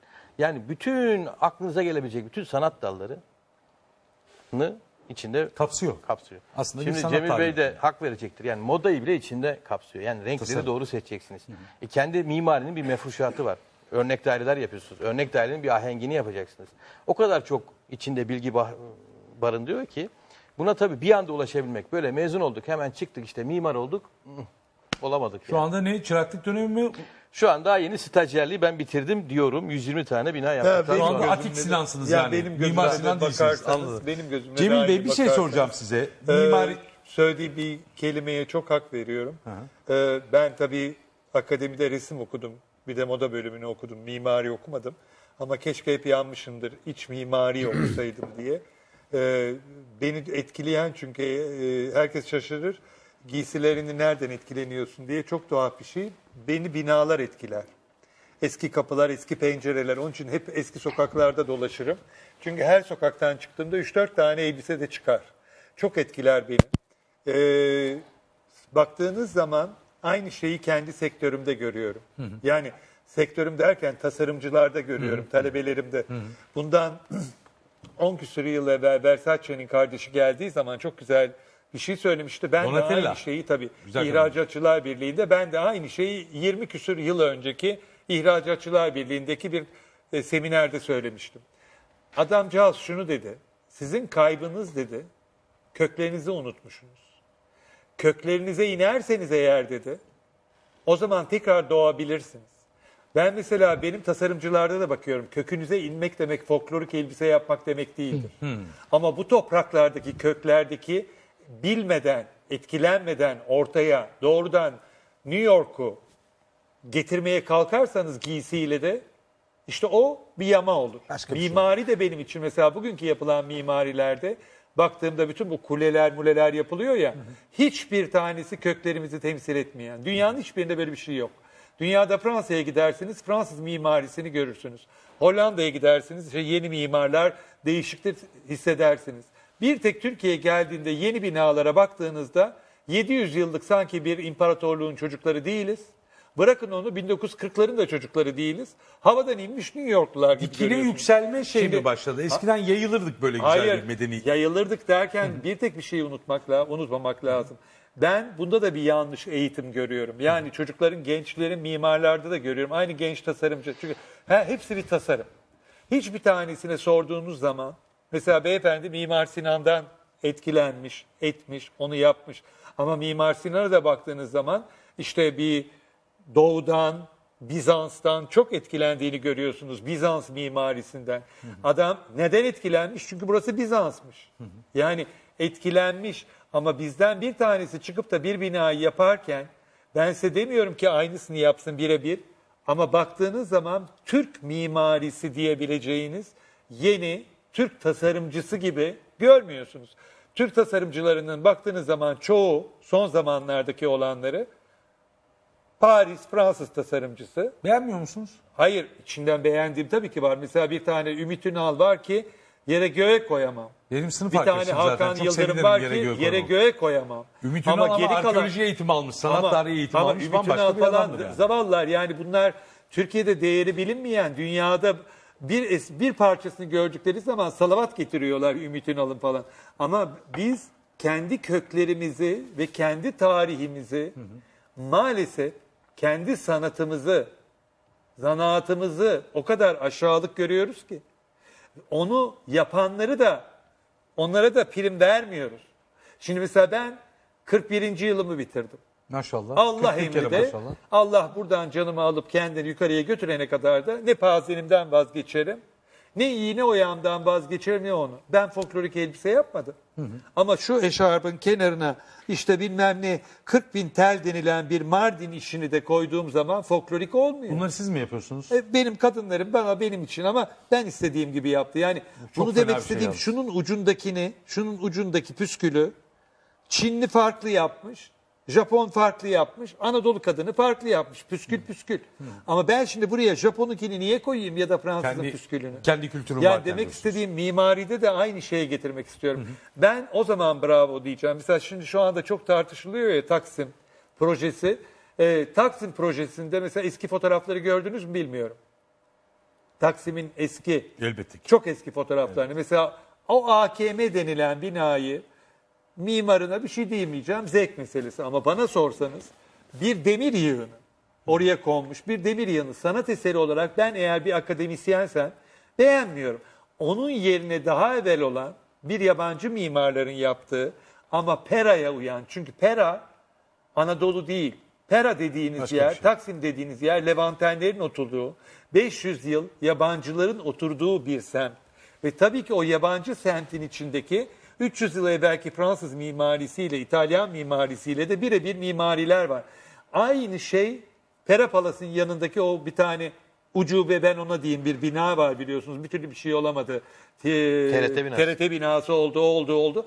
Onun yerindeki olan fotoğrafını gördüğünüzde tiyatromuş orası. O binayı görüp o parkı gördüğünüzde nasıl bir katliamdır ki onu yıkabilirsiniz de onun yerine onu yapabilirsiniz. Yani bir de katliam yapmışız. Yapılanları da yıkmışız. Anladım. Ee, herkesin bünyesine göre bir şey var. Herkesin kendi bir e, bünyesi var. Bu bu şehrin bünyesi gibi. Tabii ki doğuya gittiğinizde doğunun bünyesi gibi. Mesela Mardin'de 4 sene baktım. Baktım. Adam gelmiş. Canım o Mardin evlerinin üstüne gelmiş iki katlı İtong'dan kat çıkmış. Felaket. Şimdi benim için bir insanı öldürmekle bir binaya bunu yapmanın arasında bir fark görmüyorum. Anladım. Bu akşam sizinle kitabınızı konuşacaktık ama galiba konuşamayacağız. Konuşacağız. Bildiğiniz hani mimarlık tarihine girdik. Ee, nasıl çıkartacağız onu bilemiyorum. Şimdi e, özellikle Hakan'a sormak istediğim e, bir soru var. Ünlü ol, e, birinin oğlu olmayı hep e, avantaj sayarlar bizim ülkemizde ama senin için hiç avantaj olmadı mı hakikaten? Zor mu oldu? Yani sert bir çocukluk mu geçti? Ya avantajı da var. Biraz da böyle hani tatlı bir kabadayı tipi vardır sende böyle hani o Ya o Yaratılıştan manevilikten. Şimdi ben tabii yani bunlar çok demagojik de gelebilir de yani hepimizin Estağfurullah. toplumumuzun realitelerinden hepimiz nasibini alıyoruz. E ben mahallede rahmetli anneannemle büyüdüm yani. E, beni o büyüttü belli bir yaşa kadar. E, oralarda klasik mahalle kültürümüz vardır yani bizim. E, o kültürlerden de hamdolsun aldık yani. E, bir de her zaman belli tutuculuklarımız oldu yani benim e, nacizane kendimize göre. Bundan da mesutuz, memnunuz ama bir sanatçının oğlu olmanın muhakkak avantajını görmüşümdür. Namkörlük yapmayalım yani. E, avantajı da oldu, dezavantajı da oldu. O senin hayatı yaşayışınla, hayatı algılayışınla alakalı bir şey. Yani biz e, yani yüzde elli elli diyelim ona. Şimdi benim rahmetli büyükvalide e, anneannem e, hanım ağa gibiydi. Seninkisi de biraz öyle mi? Şimdi o jargonu aldıysan e, o jargonla devam ediyorsun. Hani Kimden bahsediyoruz burada? kur- e, sizin e, anneannenizden. Anneanne Benimkisi rahmetli biraz oldu. Rahmetli oldu. Benimkisi de rahmetli, sizinkisi de rahmetli. E, Öyle yani. şey- Benimkisi fena şeydi. Sert kadındı yani. Öyle tabii tabii.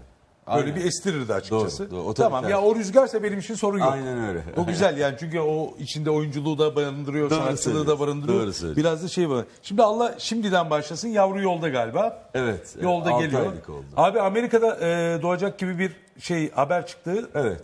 E sen nasıl gideceksin? Uçak korkun var. Temel usulü Maalesef. şeyle. Şimdi Şimdi Sandalla gidilmiyor korkuyu oraya. yok et. Sen yıllar önce Ben Bodrum'da 8 hatırlıyorsun. sene çektim. 8 sene çektim. Türk Allah Hava çektiniz. Yolları'nı sonra işine alınca uçakları yapmak gerekince eee, dedim ki nasıl yapacağım uçakları? Çünkü uçak yapacağım. Hostes kıyafeti değil sadece. Uçağın içinin dekorasyonu, uçağın dışı. De- Beni bir uçağa soktular. Uçağın içinde hiçbir şey yok. Hiçbir şey ama düşünün ki yok. Aman çocuklar neler varmış o duvarların arkasında meğer. Kordonlar onlar bunlar bunlar bunlar. Benim sabah kendi inancıma göre bir dualarım vardır. İlk gideceğiz. Dedim ki bu işi sen çıkardın bana.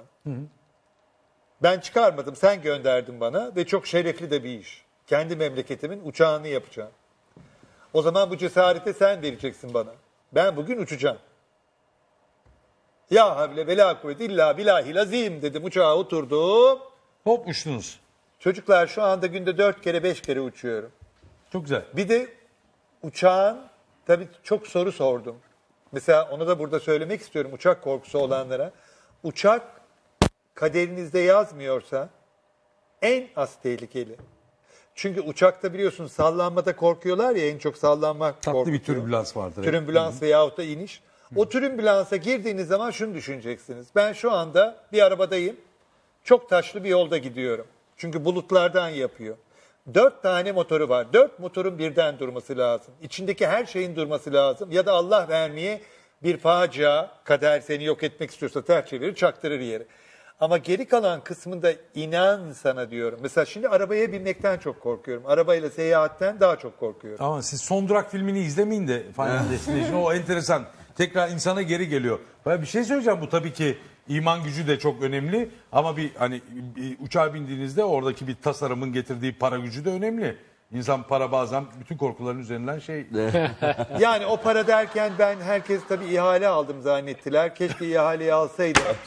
Türk Hava Yolları'nın keşke ihale... ihale size kaldı Hayır, diyelim mi? ihaleyi alsaydım hayatımda çok mutlu olurdum. Çünkü bir ihale dediğiniz Türk Hava Yolları'nın hemen hemen orada gördüğüm ve duyduğum sade hava hosteslerinki 17 trilyonla 20 trilyon arası gibi bir rakam. Yer hariç. Bu iki defa yapılıyor. Yani ben cukka bir 100 trilyon koymuştum. Şimdi araştırabilirler böyle 100 trilyon bir param olsa zaten benim hayalimdeki en büyük hayal hani Boğaz'da bir yalıda oturmaktı. Yalıda otururdum. Öyle bir para almadım. Ben Siz isteyince oluyor ya öyle bir Hayır durumumuz var. para tabii- ben paradan çok paradan çok zaten bana ödenen biletti. Yani ve Bilet on- karşılığı mı? ben Ya onların, uçuş korkusu var bilet üstüne karşılığı. de 6 tanesini uzun uçuş Asya Amerika'yı da kullanamadım. Ama benim için şöyle bir şey vardı postacılarınkini de yaparken. Onu da yani iki elbise parasına yaptım. Ama Mektup karşılığı. benim yaşamımda, defterimde ilk defa Türkiye'de bir tasarımcı postacıların kılığını yaptı. Beğen beğen mi? İlk defa bir tasarımcı uçağı yaptı. O lale benim. Her şeyi değiştirebilirsin. Laleyi değiştirene Kondurdum kadar lale- uçağın oraya. üstündeki lale benim. Şimdi bu bir sanatçının hayatında çok önemli memleketinin adına. Geri kalan kısmı bana katililyar versen ne olacak? Ben katililyaları isteseydim zaten bugüne kadar. Oo, bu dilimle bununla nelerle kazanırdım. Bırak onu çok yakışıklıydım. Zengin biriyle evlenir otururdum. Yani e, maşallah. Parayı Ha- kazanmak hala öylesiniz ya. kolay bir şey. Ay Ha- kalmadı hala öyle. canım ahı ve ahı kaldı. Ya niye artık. öyle diyorsunuz ya? Kurban Ama yani ya. yok, Melis para nasıl ödeyecek buluyorsun? kalmadı. Ce- Cemil İpekçi'yi yakışıklı buluyor musun? Çok buluyorum. Bayılıyorum kendisine. Tamam, Gerçi yani yani, çok- hani bir hani bıyıklar falan bir görüntü.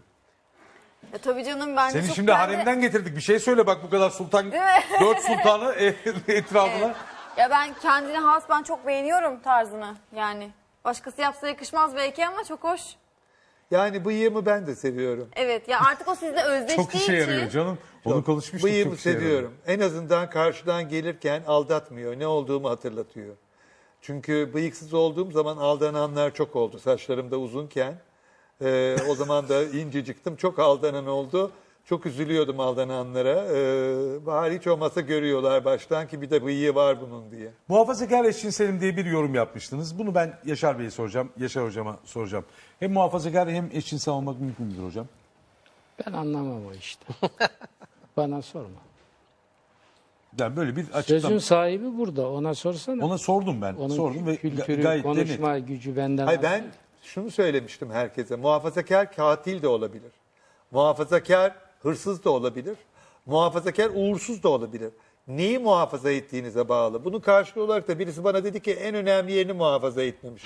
Ben de dedim ki en önemli yerim orası olsaydı oradan gül çıkardı. Gül çıkmadığına göre en önemli yerimi muhafaza etmemişim. Gönlümü muhafaza ediyorum. Arkadaş kafamı yaşıyor mu? muhafaza Bu- bu ediyorum. dedim. yanıtı verdiğiniz arkadaş yaşıyor beynim de mu? gönlümü muhafaza etmek dururken e, çok affedersiniz defi tabii yaptığım yeri muhafaza edecek halim yoktu. O nedenler etsin söz söylemiyorum. Ama ben örf adetlerimizi, terbiyemizi, kültürümüzü muhafaza ettiğimi herkes yakinen bilirler. Yani benim için çok önemlidir.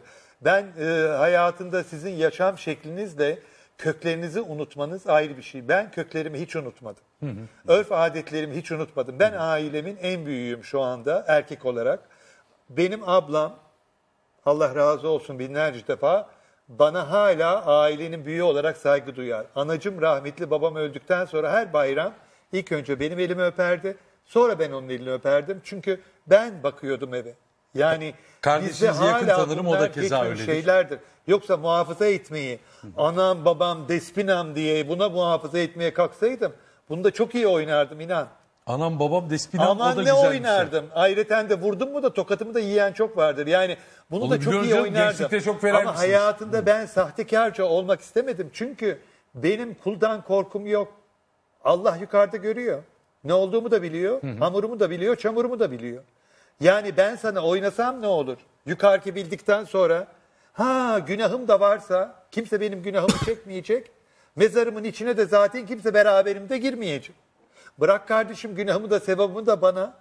Beni de Allah'ımla Rabbimle bırak da ben hesaplaşayım. Hesabımın yüklenme sen kendi hesabına bak. Sen ki hesabına bakmadan benim hesabımı niye yükleniyorsun? Bir de bana o yükü çektirtiyorsun. Çünkü üzülüyorum. Niye üzülüyorum? Kendi günahı var. Bir de benim günahımı yükleniyor üstüne. Bırak kardeşim sen kendi günahınla git öbür tarafa. Benim günahımla da ben gideyim yani. Açıklamayı duydunuz. E, ekleyeceğiniz bir şey var mı Yaşar Nur Hocam? Yok. Yüreği Peki, o erkek zaman olmak- hocam Karadenizlisiniz. Fıkra kültürü geliştir. Yani fı- bir hani Karadeniz'de e, fıkralarda bir temel var, bir dursun var. Siz şimdi Karadenizlisiniz. Temel misiniz, dursun musunuz o fıkralardaki? Hiçbiri değilim ben. Abi Yaşarlı bir Ka- Karadeniz fıkrası duymadım yani. Özür Niye? dilerim. Bir tane bulsaydık. Bir de İdris vardı. Bir de- Sonra ben melezim. Bir defa benim annem Karadenizli değil. Öyle mi? Bunu ilk kez biliyorum. Annem annem Erzurum menşeli. Hocam toprak çıktı. Ve ben de Bayburt'ta doğmuşum yani. E biz size hep biliriz şeyle Karadenizli, Trabzon. Hayır. Doğumum Bayburt. Bay- Bayburt. Bayburt'un eski adıyla Özkürüç Köyü. Yüksek köylerinden biri. Yani bunu da bilelim. Onun için Karadenizli filan ama fıkralar var. Zaman zaman anlatıyorsunuz bize. Anlatmayacak mısınız bir tane fıkrayı? Şimdi sen şimdi diyorsun ki temel mi dursun ben onların özelliklerini de bilmiyorum. Hangisini kendime uygun bulayım? İşte tam olarak onu sormuştum ben de. Galiba özellikleri de bilmeyince. Bilmiyorum. O zaman ben bu durumda Fadime oluyorum. İzninizle. yani öyle olmuş oldu. Yani tam bir Karadeniz fıkrası olduk şimdi. fıkra bilirim. Heh. Fadime dedin şimdi bir Fadime fı- fıkrası anlatsam Fadime anlatamazsın ki. Ara, buraya Niye? gel. Ha, Olmaz- anlatamaz. Olmaz mı? Ha, durum durum olmaz. Ben sana kuliste Du- anlatırım. durumu. Hocam e, 100 yılı etkileyen 20 kişi arasındasınız. Bu insanda bir şımarma hissi yaratıyor mu? Time dergisi 20 bunu- değil, 100 yılı etkileyen 3 kategoride insan seçti. Time dergisinin. Time dergisinin yaptığı şey. Onların birisi de ıslahatçılar ve düşünürler. Ben o kategoride 7. sıradayım. 7. evde. 100 kişidir ama İlk o. 20 içerisinde. Her liste 100 kişidir. Ben 7. sıradayım. Ka- dünya kamuoyu böyle bir seçim yapmış. O tabii ben ondan da gurur duyarım. Çünkü bu dünya kamuoyu. Yani İngilizce okuyan insanlar Time dergisine oy verdi ve Türkiye'den 3 kişi seçilmiş. Büyük Atatürk, ben varım. Bir de rahmetli e, Vehbi Koç var. Büyük iş kuran insanlar içinde. Üç kişi ben. Islahatçı buluyor musunuz kendiniz hocam? Yani orada ıslahatçı diye tercüme ediyorum ben onu. Healers diye kullanmış kelimeyi. Ee, gayet tabii. Yani doğrudur. Ben çok yeni şey söyledim. Tırnak içinde yeni bazılarına göre. Bana göre yeni falan değil bunlar. Üstü örtülen gerçekler diyorum. O tabiri çok kullanıyorum ben. Kur'an beyinelerin üstünü örtmüşler. Bırakın başka tarafı. Hala üstü açılmadık bir yığın Kur'an gerçeği var. Örtülmüş. Maun suresi bunlardan biriydi. Şimdi şirk kitabım çıkacak.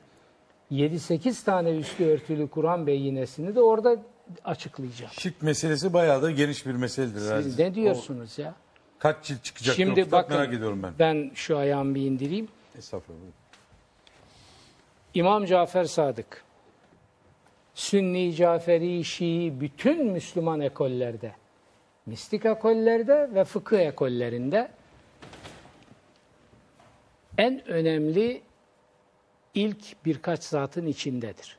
Mesela Nakşilik gibi Sünniliğin en radikal ekol, ekolü sayılır, biri değil. Orada bile tarikat şeceresi içinde Cafer Sadık vardır. Hazreti Peygamber'in torunu, İslam ilim ve irfanının anıt isimlerinden biri. Şimdi bu Cafer Sadık diyor ki, Emeviler İslam'a en büyük darbeyi tevhidin anlatılmasını engelleyerek vurmadılar. Çok dikkat etsin buraya herkes. Çok dikkat etsin. Şirkin anlatılmasını engellediler. Ha ne yaptılar böylece? Kur'an'da zıtlık ilkesi üzerine, polarite üzerine kurulan sistem. Şirk anlatılmadığı için çöktü. Tevhidi şirki anlatmadan anlatamazsınız. Ben bu kitabımın ön sözünde diyorum ki zaten kitabı İmam-ı Azam'ın büyük ruhaniyetine arz ediyorum diye ilk sayfasına koymuşum. Kitabın ithafı budur. İmam Cafer Sadık'ın bin küsür sene önce hasretini çektiği bir gerçeğin bugün ben bu kitapla üstünü açtım. Bakın yeni bir şey değil bu. Ya bunlar nereden? Ya yeni bir şey değil. Üstü örtülmüş üstündeki şalı kaldırıyoruz. Gerçek ortaya çıkıyor. Benim yaptığım bu. Bir de şirkin anlamını tam olarak e, anlatır Şirk, mısınız? Bilmeyenler Allah'ın yetkilerini başkalarına kullandıran bir dindir şirk. Şirk bir dindir. Bir defa hocalar kürsülerden bilmiyor zavallılar, devamlı yalan söylüyorlar. Birilerine avukatlık yapıyorlar farkında olmadan. Allahsız Mekke müşrikleri, dinsiz kitapsızlar. Lan dur kardeşim ya.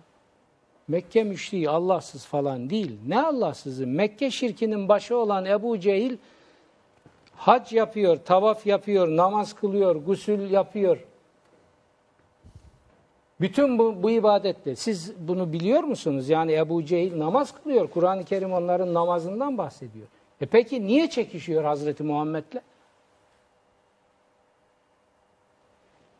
Sebep omurga kavram olarak tek. Hazreti Muhammed Aleyhisselam diyor ki Allah'ın yetkilerini Allah dışında kimse kullanmayacak. Ben de dahil.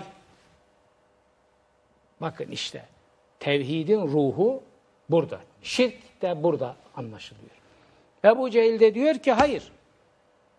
Allah'la ilgili fikirlerinde müttefikiz. Allah en yücedir. O yaratır, o öldürür. Her Kur'an veriyor bunları açık. Hocalara da Kur'an'ı okutmadıkları için adam bilmiyor bunu. Mekke müşriklerini dinsiz, ateist olarak tanıtıyor. Kürsüden bağırıyor, kıyamet koparıyor. Hayır. Allah'ın yüceliği, yaratıcılığı, mütealliği, ultimate reality oluşunda Ebu Cehil ile Hazreti Muhammed'in bir çekişmesi yok Çekişme nerede başlıyor biliyor musun Mesutcuğum? Ebu Cehil diyor ki Allah'ın bu yetkilerinin bir kısmını da birileri kullanacak. Kim bunlar? Bir, Kur'an veriyor bunları. Şefaatçılar. Allah'la aramızda şefaatçi olacaklar. Bunlar lazım diyor. İki, aracılar, yaklaştırıcılar diyor Kur'an. لِيُقَرِّبُونَا ilallah. Bizi Allah'a yaklaştıracaklar bunlar diyor. Bunlar da olacak.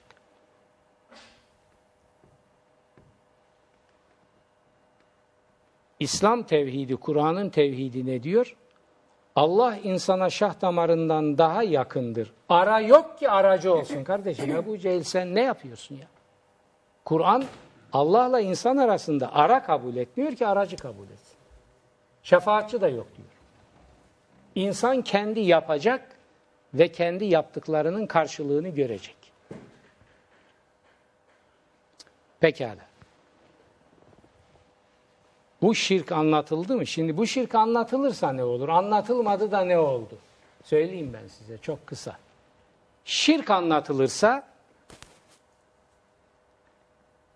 şirk anlatılırsa Maun suresi gerçeği çıkacak. Zaten Maun suresinin hemen arkasından şirki benim çıkarmam sebepsiz değil. Ne çıkacak ortaya? Şu çıkacak. Camileri dolduran insanların içinde büyük miktarda müşrik var. Bu çıkacak ortaya. Ya bu söylenir mi? Kardeşim ben Kur'an söylüyor. Ben ne yapayım ya? Kur'an söylüyor bunu. Yani Allah'ın yetkilerini birilerine kullandırdı mı bir adam müşrik olur. Ve Kur'an diyor ki insan oğlunun büyük insanlık camiasının büyük kısmı şirke bulaşmadan Allah'a inanamaz.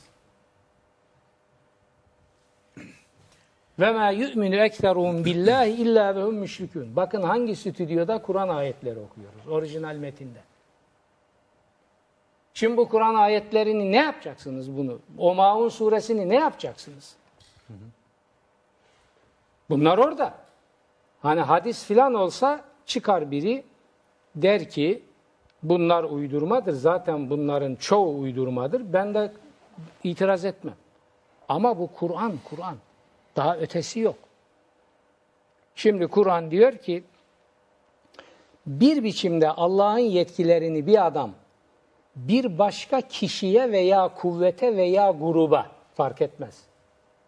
Kullandırırsa bu temayülü gösterirse bu adam müşriktir. İsterse 24 saat alnını secdeden kaldırmaz. Ya secdeli adam müşrik olur mu? Kur'an olur diyor. Doğru okumak lazım diyor. Maun suresi orada. Peki çok kısa bir yanıt isteyeceğim Yani size. İslam dünyası niye belini düzeltemiyor? İslam dünyasında durmadan artan bir rakam var. Nedir o? Cami sayısı. Buna rağmen niye İslam dünyası belini düzeltemiyor? Onun cevabı da Kur'an'da var. Ben onu da şirk kitabıma koydum. Kur'an diyor ki bir toplum maddi manevi ne kadar büyük değerler üretirse üretsin. Şirke bulaşmışsa helak olur. O ürettiklerinden hiçbir hayır görmez. Bu Kur'an gerçeğini de yapacak. İslam dünyasının belini kıran bu. İslam dünyası İslam adı altında şirki hayatına sokmuş. Buna bir sürü itiraz gelecek tabii. Ee, başka Allah şeyler Kur'an orada. Benim hüccetim Kur'an itiraz itiraz eder, merdiven altlarında söver. Gelecek burada konuşacağız. Anladım. Kur'an'ı koyacağız oraya. Onu bir ara alalım ya biz bir talk show, Yani talk aslında, show yapıyordum aslında ama tabii ki e, Bakın Maun suresinde aynı şey oldu. Bakın Maun suresi orada 16 17. baskısını yaptı. Maun suresi diyor ki bir adam muntazam namazlarını kılsa da insanların haklarına tecavüz ediyorsa bu dinsizdir, imansızdır ve kıldığı namazlarda lanetten başka bir şey getirmez. Maun suresi diyorum bunu demiyorum. Cevap veriyor bana birileri. Ya tamam da hepsini söylemek şart mı? Onu da söyleme diyor. E bunu söylemedin mi o zaman Kur'an'ın geri kalanı bir işe yaramıyor. Yani alıyorsunuz altından ana direği. anladım. Yani e, işte insanla göre değiştirilemiyor e, temel şeyler. Peki hocam bugün sizi getirmek hiç kolay olmadı açıkçası.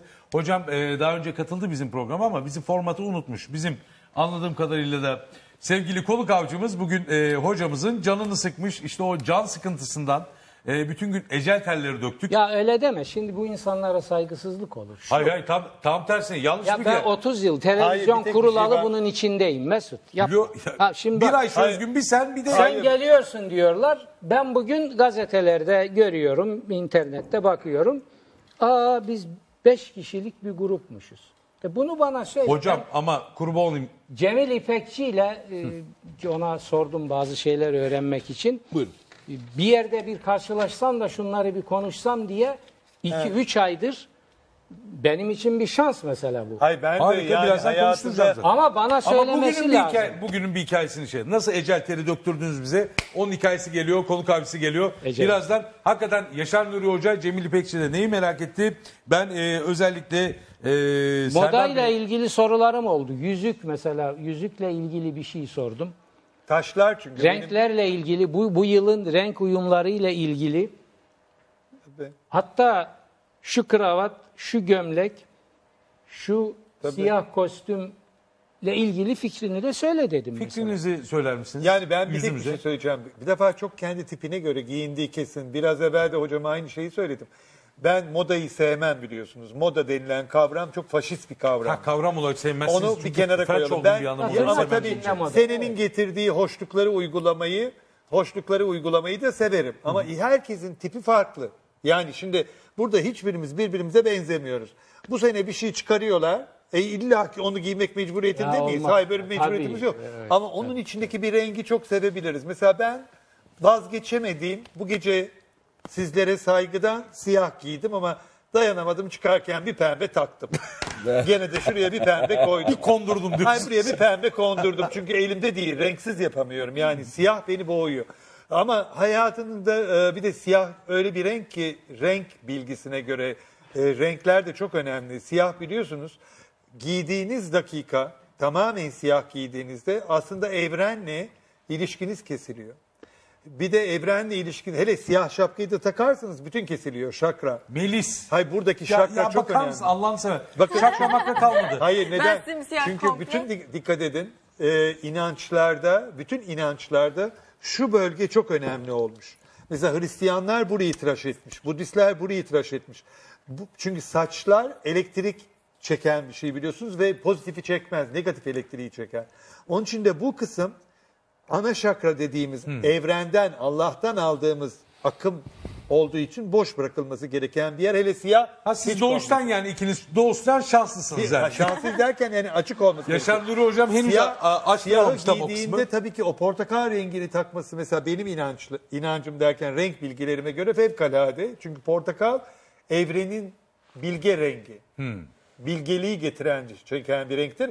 Siyahı orada durdurur Kırdı. ama bir de üstüne de siyah kravat takaydı. Ha yok. Dışarıya ne negatif ne pozitif hiçbir şey almıyor. Hakan Hanım'ın ne suçu Şimdi var şu mesela anda? Hakan'da mavisi var bir, içinde. Bir değerlendirelim. Hayır hemen Hakan'ın onunla da ilgili. mavisi var içinde. Maviyle yırtıyor e, Bunun yani. zaten dekolteleri var maşallah her yerinden girer yani. O ama şakra kafa. Ya Akım ama- Hakan'ın saçlardan Ama de aslında, şapkadan. aslında çok önemli bir şey. Mesela renkte ve bunda benim işte 41 senedir tabii açıklamadığımız hocam. Çünkü niye? Babacığım bir laf etmişti bana. Çok önemli bir laftı. Demişti ki sen çok dolusun bir sürü şeylerle. Hayatında bir tanesini seç. En sevdiğini hedef diye onda ilerle. Ben de tasarımı seçtim onda ilerledim. Ama ne parapsikolojiyi, ne metafiziği, ne astrolojiyi bırakmadım. Onlarda da 41 sene. Yani e, babacım Allah rahmet eylesin 12 yaşındaydım zannediyorum. Çünkü ben 7 yaşında böyle birdenbire kalkmışım bir sabah dua etmeye başlamışım. Babam da benim bilmiyorum ateist miydi ama e, namaz kılan falan bir adam değildi ama çok bilge bir adamdı. 11-12 yaşındayken böyle önüme Tevrat, Zebur, İncil, Kur'an koydu. Dedim nedir baba bu? Dedi ki sen böyle bir şeyleri çok meraklı büyüyeceksin. Belli ki dördünü birden oku da. Bana da sor. Arapça da biliyor. Ben de sana tasvir edeyim. Kendi yolunu seç. Çünkü dedi "be- belli ki sen büyürken dedi bunlar dedi sana olacak. Ama dördünü de bilmezsen dedi tekini bilmen yeterli gelmez. Onun için bana Zebur'u da okuttu, Tevrat'ı da okuttu, İncil'i de okuttu, Kur'an'ı da okuttu. Kur'an'ı da ayrıca Arapça kendisi sayfa sayfa bana anlata anlata bir tane de tefsir vardı önümde. Hala saklarım babamın verdiğini. Ve hakikaten de ben hayatımda Rabbime inanıyorum. Geri kalan ne kadar inandığımı da o biliyor. Onlar ayrı. Fakat renklerle de tabii bunlar da beni çok çekti. Yani mesela reenkarnasyon hayatımda herkes ölümden korkuyor. Korkmayan var mı? Çok az insan hayatta Elbette, o mertebeye erebiliyor ölümden korkmamayı, bu dünyevi hayatı bırakmayı. Reenkarnasyon çok ilgimi çekmişti. Tekrardan doğmak. Ve bir 30 senemi verdim reenkarnasyona. Evet, reenkarnasyon var ama sen yoksun, ölüm var. Ölüm diye bir şey var. Nasıl nasıl var? Ruhum ölmüyor ama Cemil ölüyor. Onda bir Bir daha Cemil dünyaya gelmiyor. O dakika bulduğum dakika reenkarnasyonu bıraktım. Çünkü beni ilgilendiren Cemil geliyor muydu? Benim ruhum çiçek olmuş, böcek olmuş, Ahmet olmuş, Hasan olmuş, Hüseyin olmuş. O bana ne? Reenkarnasyonda onlar olmaz zaten. Geriye dönüş yoktur. Yani, Yani İnsan olarak geldiniz mi? İnsan geliyorsunuz. o var da. Tekrar insan. Reenkarnasyonda geriye adım yok. Tekrar yine insan Ha, olarak. insan Ama geliyorsun. çilenizi doldurursunuz. Ama insan olarak geliyorsunuz ama hocam yani beni alakadar eden kısmı Cemil gelmedikten sonra öbür tarafta geleceklerim ne ilgilendirir? Ama arkadaş işte o ölümsüzlüğün e, şeyinde sırrında Hakan Bey soracak. Çünkü ben hayatımda şöyle bir şey söyleyeceğim. Ee, soruyorlar bana çünkü. Bir daha dünyaya gelsen 20 yaşındayken farklı cevap verirdim. Şimdi? Ee, şimdi son 15 senedir Allah'ın ne kadar bir lütfuymuş ki beni bu halimle yaratmış. Hay maşallah. Yani ben o kadar mutluyum ki bir daha seçsem gene bu savaşları vermek için. Hakaretler de yesem, beğenilsem de bu Cemil gelmek isterdim. Çünkü her şeyi bilerek yaratıyor. Benim ruhuma göre o kadar uygun ki, o kadar renkli ki. Ben renksiz bir varlık olarak gelmeyi hiç düşünmezdim. Yani benden çünkü hakikaten baba da olamazmış, ana da olamazmış. Ben de ne olsa olsa şimdi dede oldum. Fevkalade de bir dede. Hayırlı uğurlu olsun. Dede olduktan sonra e, bıyıkları bizzat enseden bırakmaya başladınız. E, onu da soracağım size. Konuk aksına gidiyoruz. Bugün Yaşar Nuri Öztürk hocamızı of neler çektik.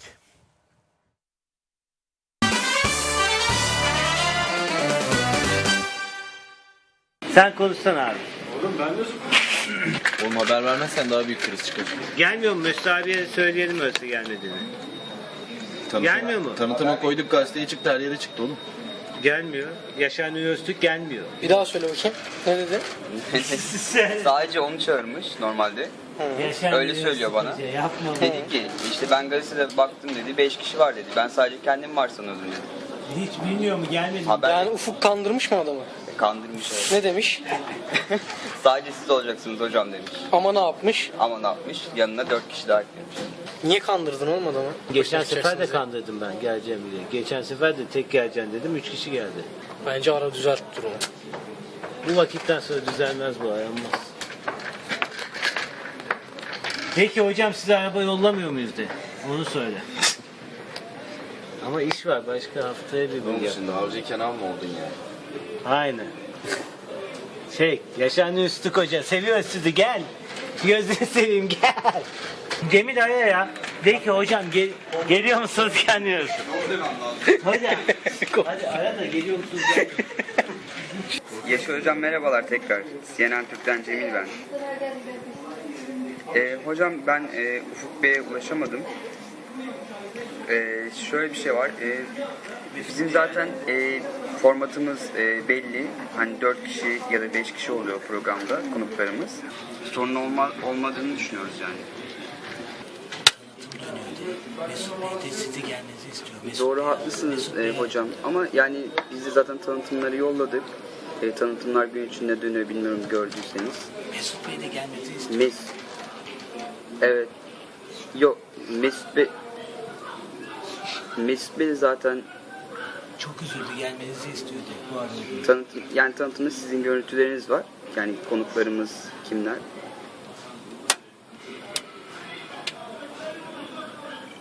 Hı hı.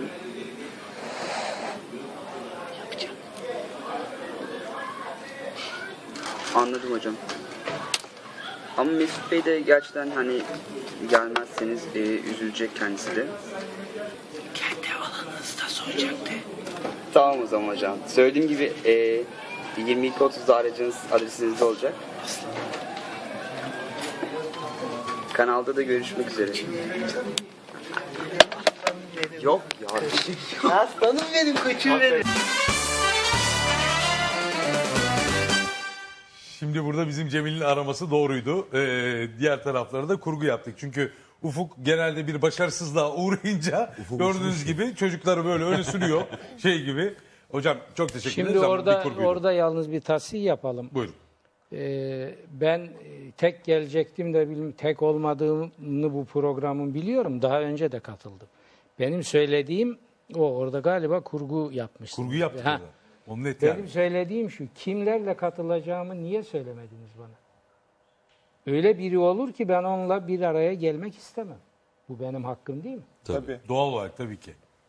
Bana söyleyeceksin. Şunlar, söylemiştir şunlar, hocam şunlar. size Hayır hiç. mi? Asla. Konuk avcısı gitti, avlandı. Ava giden avlanır bu ortaya çıktı. Avlanan- Hakan Ural, e, e, pişmanlık pişmiş tecrübelerdir diye bir lafım var ve çok hoşuma gitti. Yani mesela iyi pişmiş bir tavuk e, pişmanlık mıdır?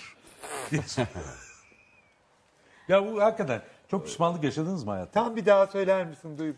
Pişmanlık iyi pişmiş tecrübelerdir. Çok güzel bir laf. Çok pişmanlık yaşadınız mı hayatınızda? Ya Yani e, tecrübe yaşadık yani olumlu olumsuz tecrübeler yaşadık diye e, yorumlayalım onu. Yani e, hakikaten tam böyle anlamını doldura, dolduracak şekilde bir böyle pişmanlığım olmadı. Dediğim gibi tecrübelerimiz oldu olumlu olumsuz. Bugün de neye sahipsek o tecrübelerden dolayı sahibiz diye düşünüyorum. Şöyle de bir olumlu adamsınız. Yani ne olursa olsun mesela hani geçmişinle barışık bir adamsınız. Mesela e, ortak çocuklarınız olduğu için Sibel Hanım'la mesela arkadaşça görüşebiliyorsunuz. Tür- Türkiye'de çok ilginç mesela bir ilişki bitiyor her şey bitiyor. O- Oysa ki ortak bir mimari var. Çocuklar var. Onların sağlıklı yetişmesi var. Ayrıca burada söyleyeyim gelinliği de ben dikmiştim. Hayır, Çok güzel, güzel Bunu da bir bir koyabileyim. Yani Sibel Can'ın gelinliğini de diktim diye hayatımdaki anılarımda önemlidir yani böyle bir... Yeni İlk kitabınızı ben mankenliğe de sen de Tabii mankenliğim de yaptı. İlk mankenliği de ben de çıktı. Cemil'in benim yaşam yani çizgimde çok önemli yeri vardır. Her Mankenlik yaptın mı abi Yaptı sen? Ben tabii canım. Tamam o mankenlikle başladık. Ee, bir de tabii burada diye de söylemeyeyim. Çok sevdiğim saydığım bir insandır. Ya her zaman yıllardır görüşürüz hiç e, sanki sürekli. Bora da vardı o zaman senin arkadaşın. Bora Gencer tabii. Bora Gencer Ee, ikisi çıkmışlardı. Yani şey e, dedim ya yani e, geçmişimle barış. Ah Mesut Bey tevellüt çok tevellüt. Estağfurullah geleceğiz efendim birazdan. tevellüt olduğu için maşallah. Her şeyi biliyoruz diyorsunuz. Kimler geldi kimler geçti. Peki bir de Doğrucu Davut diye bir şeyiniz var, lakabınız bizim var yani. arkadaşlar. Hiç yalan söylemez misiniz? Ya beyaz yalanların muhakkak vardır. Ya bazen o da faydalı oluyor a- aile içinde tölere edilmesi anlamında. Ama yani genelde göründüğüm gibi bir adamımdır. Do- O yüzden e, böyle fütursuzluklar ya da e, yanlışlıklara e, reaksiyon veren bir adamımdır. O da Benim sende en sevdiğim tarafın ne biliyor musun? Mesela çocukluğundan tanıyorum. doğru. Babası arkadaşım çünkü. Hayatında bir gün çok tuhaf bir şey ki bu muhitin içinde büyüyen çocuklarda çok azdır o. Yani bu camianın içinde terbiyesinden ve saygısından hiçbir şey kaybetmemiş. bir Ya çocuk. çok teşekkürler. Mesela bugün tabii artık 20 yaşında oğlu var ama benim için hala o ben anlayabiliyorum. Hala çocuk yani benim için aynı. Ama bir tek gün aile dostlarına, etrafa olmadı ve ben tabii çok da hep çok sevdim. O yüzden sevdim. Çünkü kendini de küçük düşürmedi. Yani e, şöhret evladı olmak, bu muhitte olmak çok kolay bir şey değil. Taşınabilir bir şey. Çok zor bir şey. Bunun Zor taşınması çok zor bir ağırlık. Ee, o ağırlığı taşıyabilmek e, Allah tabii güzel bir ruh nasip eylemiş. Amin. Ben Ee, öyle devam etsin. Peki çok yaşadın, çok gördün Hakan. Peki yaşadıklarından öğrendiğin şey nedir? Ben e, şimdi hocam da burada böyle şeylere pek girmek istemiyorum. Çünkü e, hocam kadar, e, Cemil Bey kadar hakikaten bilgim yok. E, hadsizlik yapmak istemiyorum. Estağfurullah bir Çok e, inançlı bir insanım ben. Her şeyi e, nasibe kısmete e, bağlıyorum. Bu bunlar diyorum benim e, bugün için sahip olduğum bir de şey e, yani toplum olarak o kadar acılarla bezenmişiz ki biz. Yani o kadar e, zor durumda e, maddi manevi yaşayan insanlarımız var ve olmuş ki ve olacak ki. Ya bunlara hep hamd ediyorum ben. Yani tabii bunları da 30 35'imizden sonra e, daha da olgunlaşarak hissetmeye başladık. E, de, şeyim yani en kötüsünde bile hamd eden bir insanım. Hatta şimdi ismini vermeyeyim e, yine sevdiğimiz bir hocamız vardı. Geçenlerde bir ortamdaydık. E, hocam da buradayken hem sormuş olayım. Şöyle bir şey geçti. Bilmiyorum yaşadıklarımın psikolojisinden midir nedir hocam? Ben böyle zor durumdayken pek e, dua etmiyorum. Böyle bir mahcubiyet hissi yaşıyorum. Genelde son yaşadıkta işte onu geleceğim. E, özellikle böyle çok mesutken, mutluyken, her anlamda sağlık, e, maddi, manevi e, iyi durumdayken Allah'ıma çok hamd eden bir insanım. Hani verdiklerinle alakalı diye. Hocamız da bana e, tam yanlış yaptığımı, özellikle istememi e, zor durumdayken de e, sürekli dua etmem konusunda e, telkinde bulunmuştu. Bana doğru olduğunu söylemişti. Yani böyle çok kendime göre e, yaşamaya gayret, hata yapmaktan çok utanırım. Birini incitmekten, kırmaktan. Bu da bir olgunluk dönemi. Yani böyle e, hassasiyetle yaşamaya çalışıyoruz ama bu insanı çok yoruyor. O hassasiyetler zaten. Feci yoruyor yani. Şimdi Melis'ime de soru sorayım artık. Melis'im böyle gecenin genç e, konu olarak sen de çok set ortamında bulundun. Sen ne öğrendin Melis? Evet. Ben ne öğrendim? Evet diye başladı. Hadi bakalım. Ben ne öğrendim? Şöyle bir şey söyleyeyim. Neyse ne olmak zorundasın. Ve hani hata kabul etmiyor bu ortam. İşte burası hata kabul etmiyor.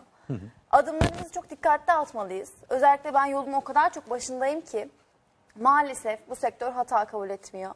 Ve ben iki adım atmadan önce üç kez düşünmek zorundayım. Öğrendiğim şey şimdiden bu. Ben dikkatli olacağım. Sadece Peki bir dikkatli. B planın var mı? Bunlar yeni işlerin. İki yeni iş yaptın. iki tane iş Evet. yaptın zaten. Evet. Ee, bir B planın var mı? Oldu ki oyunculukta ya Mesut abi ben oyunculuğa ısınamadım. Ee, başka bir yöntem seçmek istiyorum kendime. Aslında söylediğiniz gibi oyunculuğa ısınmamak gibi bir şey yok. Çünkü gerçekten hani ben bunun e, hayalleriyle, planlarıyla yaşadım. Yani diyeceksin ki 18 yaşındasın ne kadar yaşadın bunu. Ama ben bu benim içimde olan bir şeydi her zaman. Ama bir altın bilezik olarak da 4 sene boyunca ben İngilizce okudum.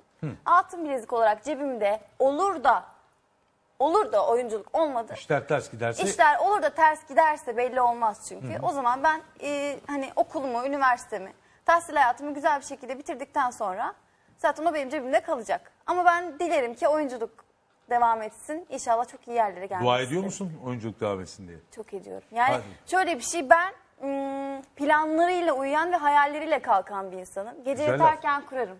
Şunu yapacağım, bunu yapacağım, şu şöyle olacak, bu böyle olacak. O Bunun için ne gerekir? O bitmiyor. O bittiği zaman zaten bu iş de biter. Yani bu işte hayaller sonsuz. Hayat biter. Samimiyet, samimiyet e, bizim için çok önemli. Hayat biter. Dünyada hayaller bittiği dakika, umutlar bittiği kesinlikle. dakika hayat biter. Ben kendi kendime şu kitap çıktığında kitabı yazarken, kitap çıkarken heyecanlanıyorum. Ama tabii arada bir de sorguluyorum. Dedim ki ay haddini bilmez mahlukat. 65 yaşına geldin. Hala oturup da bir sürü arkadaşın emekli oldu. Gidip deniz kenarında keyif yapacağını. Hala kitap yazıyorsun. Şimdi bir kitap daha yazıyorum. Bir de tek kişilik bir oyun yazıyorum. Kendimi oynamak üzere Maşallah. öbür sene. Bir de CD yapacağım.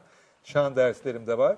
E, Kendi yazdığım sözleriyle. Hala hayalleri kuruyorum ve hala sanki sahneye çıkmış gibi o CD yaparken gibi ışıkları koyuyorum. Diyorum ki yani deli misin nesin ayol? Bir de yani ki her yerin artık bu ne oldu? Ama hayallerin bittiğinde bence Hayat umutların duruyor. bittiğinde hayat da Kesinlikle. bitiyor. Yani umutlar ve hayat bitmese benim bir dua şeklim vardır ninemin öğrettiği. Çok severim. Ee, bir gün gene böyle bir dua ediyordum. Hayırlısıylaydım. Sakın dedi hayırlısı deme. Şerden de hayır verir Allah dedi. Hayırlardan hayır dile, şerden gelecek hayırları istemiyorum dedi. Onun için mesela benim bazı şeylerim olmuyor iş hayatımda. Mesela iş yapacağız, senden para kazanacağım. Hemen kendi kendime bakıyorum. Ya Rabbil Alemin bu para bana hayırlardan hayır getirecekse, beni mutsuz etmeyecekse, e, şer getirmeyecekse gelsin diyorum. Anlaşma duru veriyor. Para gelmiyor. Ha diyorum ki bu bana ya hastalık getirecekti ya beni Hayır, bir şey havaya değil. kaldıracaktı ya azdıracaktı kalsın yerinde. Şimdi şerden gelecek katrilyar bile istemiyorum. Peki, Hayırdan hayır getirecek İnşallah da hep öyle olur. Ee, Serdar İnan, Mimar Serdar İnan bugün aslında yaptığı binalarla e, ve demin bahsettiği çıraklık dönemiyle değil, hakikaten hani bir şair için e, herkese her şaire nasip olmayan e, Aslı ve e, Sureti isimli e, kitabıyla birlikte kalemi ve kalbini de içine koymuş. Mesela demin cami meselesi açıldı. Nasıl bakıyorsunuz? E, ya da ezana nasıl Hepsi bakıyorsunuz dedim. abi? E, Şiir de var, makale de var. hemen açışına kitabı ortasından okumayı da severim ben bazen. Bir cami diye bir şiiriniz var.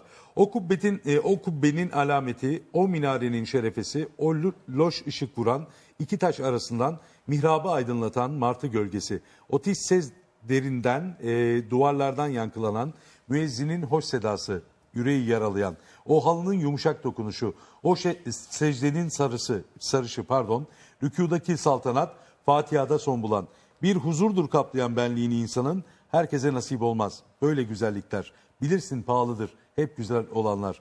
Halbuki bu Rabbin sepeti, sok elini gitsin, sana da yeter bana da, yeter ki niyetin olsun salih, kalbin temiz, ruhun hafif, sana da yeter elbet bana da.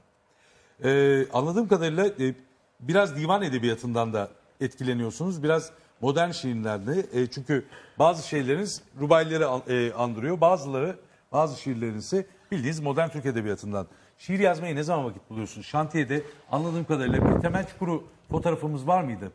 Bir adamı şair yapacak şey şudur. Şu anda göreceğiniz fotoğraf. Buyurun görelim.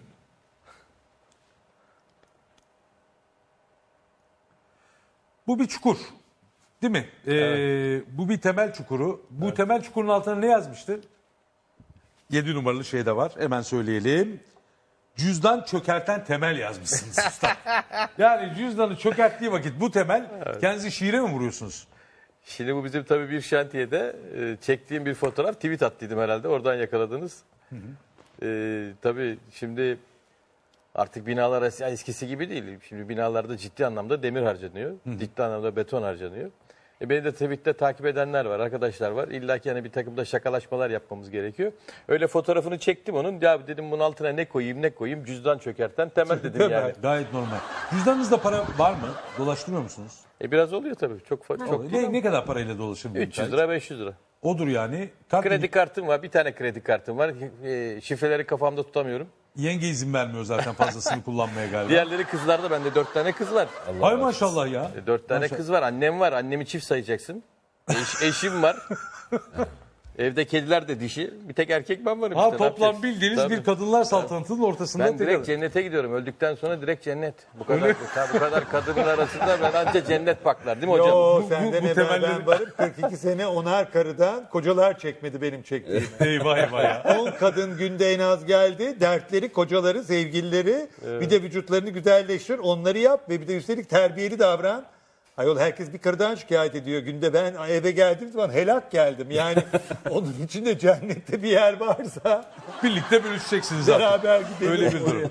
Peki e, Cemil İpekçi e, net bir sorun var. Affedin beni diyorsunuz. Evet aslında Günahkar ironi- mısınız? Hayır aslında affedin beni dememde şöyle oldu. Ee, e, bu benim şarkı sözlerimden bir tanesinin ve şiirimin bir tanesinin başlamasıydı. Ee, affedin beni derken e, okunduğunda görülecek ki orada bir ironi var. Yani beni affedin ama acaba kendiniz de affediyor musunuz? Yani e, bütün bunları yaparken beni affedin. Ben özür diliyorum ama sizler bütün bunları yargılarken kendilerinizi affedebiliyor musunuz? Bu bir deneme yazısıydı. Çünkü esas e, anılarım diye çıkan, çıkacak olan kısmetse başladığım bir kitabım var. E, burada sadece bir sorgulamalar var. Burada mesela başlıklar halinde var. E, kıskançlıklarım. Olmadı mı? Tabii ki oldu. Ablam evlenirken e, ben de 15 yaşındaydım. Bu bedenin içine doğmak istememiştim. Allah ama bana bu bedeni nasip eylemişti. Yani seçme şansım yoktu. Ben 7 yaşına kadar bu bedene ait olduğumu bile bilmedim. Okula gitmedim iki gün. Kafama kurdele takmadılar diye. Çünkü e, yani ben zannediyordum ki ablam gibi kurdele takılacak. Doğduğumdan beri dikiş dikiyorum. 4 yaşında ilk işlemeyi yapmışım. E, ne bileyim öyle zannediyordum. Ama hayatında zaman geçtikçe anladım ki en büyük hapishaneye düşmüşüm. Allah beni onun için korkusuz oldum. Zaten bir bedenin içine hapsolmuşum ve onunla yaşamak mecburiyetindeyim. Ve bunun yüzünden aldığım yargılarda insanlara sormak ihtiyacını duydum. Burada yer yer. Kıskançlıklarım tabii ki oldu. Ablam evlendiği zaman ben de öyle bir gelinlik giymek isteyebilirdim. Erkek kardeşim evlendiği zaman gene çok kıskandım. Çünkü anneme babama bir erkek evlat olarak öyle bir düğün veremediğim için kıskandım. Damat olamadığımı kıskandım. Yani benim de kıskançlıklarım olmadı mı? Benim de gayet tabii oldu. Benim de hayatımda hatalarım olmadı mı? Tabii ki benim de hatalarım oldu. Ama ben ne hatalarımı, ne kıskançlıklarımı, ne yaptıklarımı saklamadım. Ve kimseyi de yargılamadım. Ben yargısız bir hayata inanıyorum. Çünkü eğer Allah'a inanıyorsak bunların hepsinde bir neden var. Ben cinsiyetimi de değiştirmedim. Değiştirenlere de lafım yok. Onlar öyle istemiş. Çünkü Rabbim isteseydi beni kadın yaratabilirdi. Ama sonra fark ettim ki ben kadın da değilim. Yani o gençliğimdeki hissettiğimdeki kadın da değilim ama o da değilim. Ama neyim ben? Ben binlerce yıldan beri yaratılan, bugün işte çok e, bilim adamlarının arama sonucunda bulduğu e, aslında tamamen küçük beyindeki bir salgının 3 aydan sonraki transformasyonunda e, beden 3 aya kadar dişi biliyorsunuz. 3 aydan sonra dişi veya erkek formuna dönebiliyor. O andaki bir salgının, hormonun değişmeyip bedenin değişmesinden gelen ama tabii ki Allah böyle istediği için olan bir varlığım ve yüz binlerce yıldır da benim gibi de varlıklar dünyada var. Ama bu birinci kişiliğim değil. Çünkü bence erkek olmak da birinci kişilik değil. Kadın olmak da birinci kişilik değil. Bu cinsle birinci insan olabilmek birinci kişiliğim. Cemil Ve Bey, hayatım boyunca da ben ona çalıştım. Cemil Bey'in yüreği erkek. Yani Ben öyle diyorum yani. bir de tabii ki bu bedenin hakkını da vermek istedim. Çünkü bu bedende doğduğuna göre bunun da bir mesuliyetleri var. Yani hayatımda mesela ben hiçbir kadın arkadaşımla davet bir yerde buluşurken evet kadınsı hissediyorum kendimi diye gel burada buluşalım demedim. Evinden aldım, evine bıraktım. Centilmen. Sigara içiyorsa sigarasını yaktım. Benim yanımda hiçbir kadın para ödeyemez. Bir yere çıktığı zaman. Ha tabii ki bedenimin getirdiği muhafazakarlık da var genetik olarak. Yani Beyoğlu'na çıkıyorsak şimdi mesela bu canım kızım ben de bu kılıkla Beyoğlu'na çıkamaz. Ne yapmak lazım? Yani giyinecek biraz daha uzun giyecek kapalı giyecek ki ben de rahat rahat sinirlenmeden yürüyeyim. Şimdi laf atacaklar ben de sinirleneceğim yani. Girişir misiniz yani? Gelişirim çok da kavgacıyımdır. Yani bakma sen gençliğim hele çok Beyoğlu sokakları iyi bilir beni. Ha böyle gözümde sürüyorken hiç unutmuyorum hele bir gece. Ee, saçlar buralara kadar uzun. 19-20 yaşında falanım. Rıfat var Özbek. Sen biliyorum, tanıyorsun. tabii. İkimiz de buralara kadar saçlar. Allah makyaj da yapmışız Beyoğlu sokağına ama 40 sene öncesini düşünün. Bir yere gidiyoruz. İki tane de münasebetsiz takılmış. Size bir şey ikram edebilir miyiz? Size bir şey ikram edebilir miyiz diye. Git yerine diyor. Git, git yerine diyor. Birden bir onun bir tane yumruk, iki tane yumruk.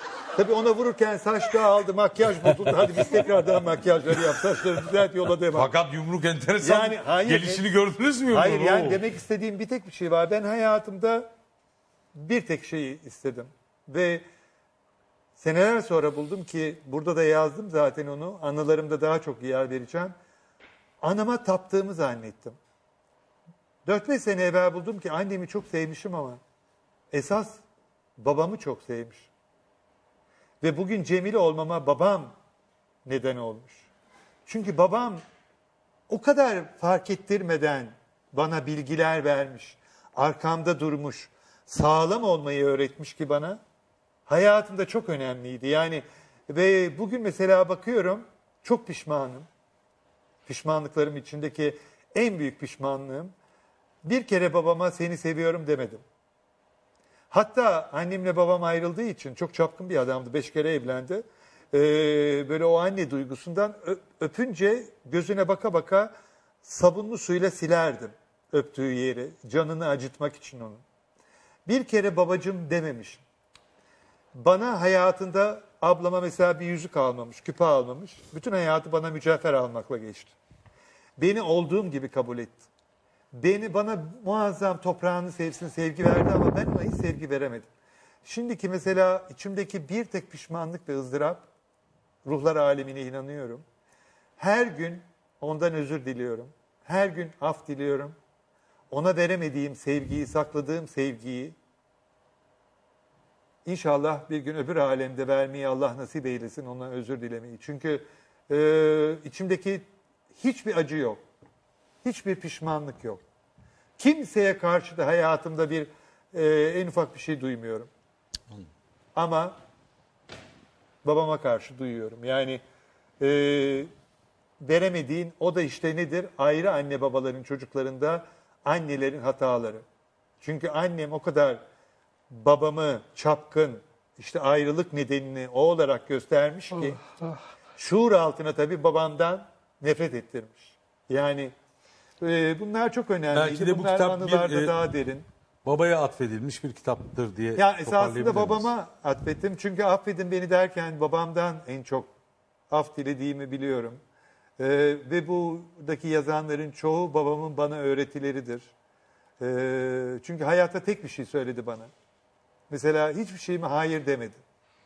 Yalan söylemeyeceksin ama en önemli şey kendine yalan söylemeyeceksin. Bir kere tokat yedim. O da orada yazılı. 35 yaşında. Birine aşık değilim de sevgi işte. Dedi kötüsün gel dedi. O zaman da içki içiyorum. Gel dedi bir balık pazarı yapalım. Balık pazarı içiyordu. İşte ben anlattım. Baba böyle yapıyor. Bana bunu yapıyor, bunu yapıyor, bunu yapıyor, bunu yapıyor. Bir tokat indirdi suratıma. Ne oldu dedim. İlk defa tokat yemiş. Yalan söyle. Yalan söyle. Kendine yalan söylüyorsun dedi. Sen ondan soğumuşsun.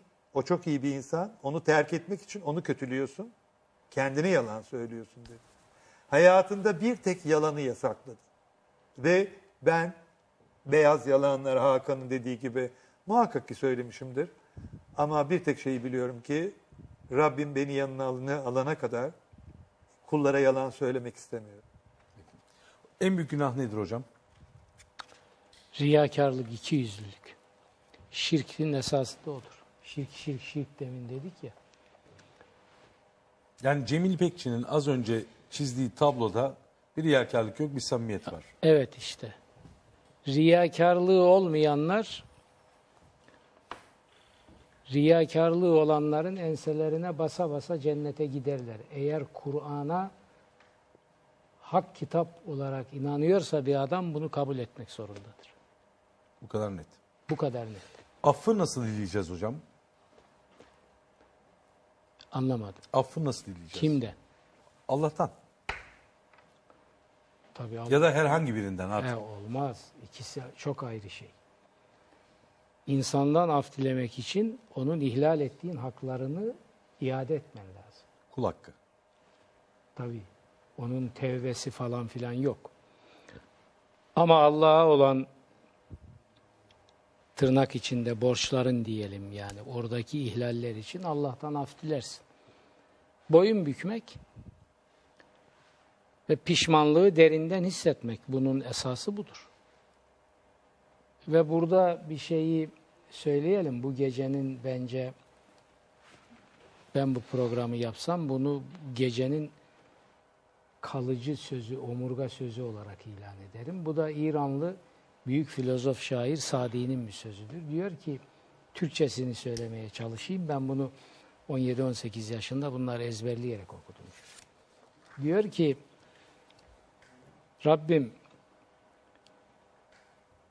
bana senin karşında ben dedirten, ben de yaptım dedirten ibadetlerimden sana sığınırım.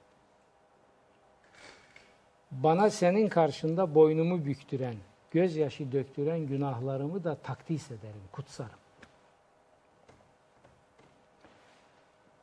Şimdi Kur'an'ın bu konudaki mahasalı söylediklerinin özeti şudur. Riya bulaştırdığın ibadetlerinden kaygılan, riya bulaştırmadığın günahlarından kaygılanma.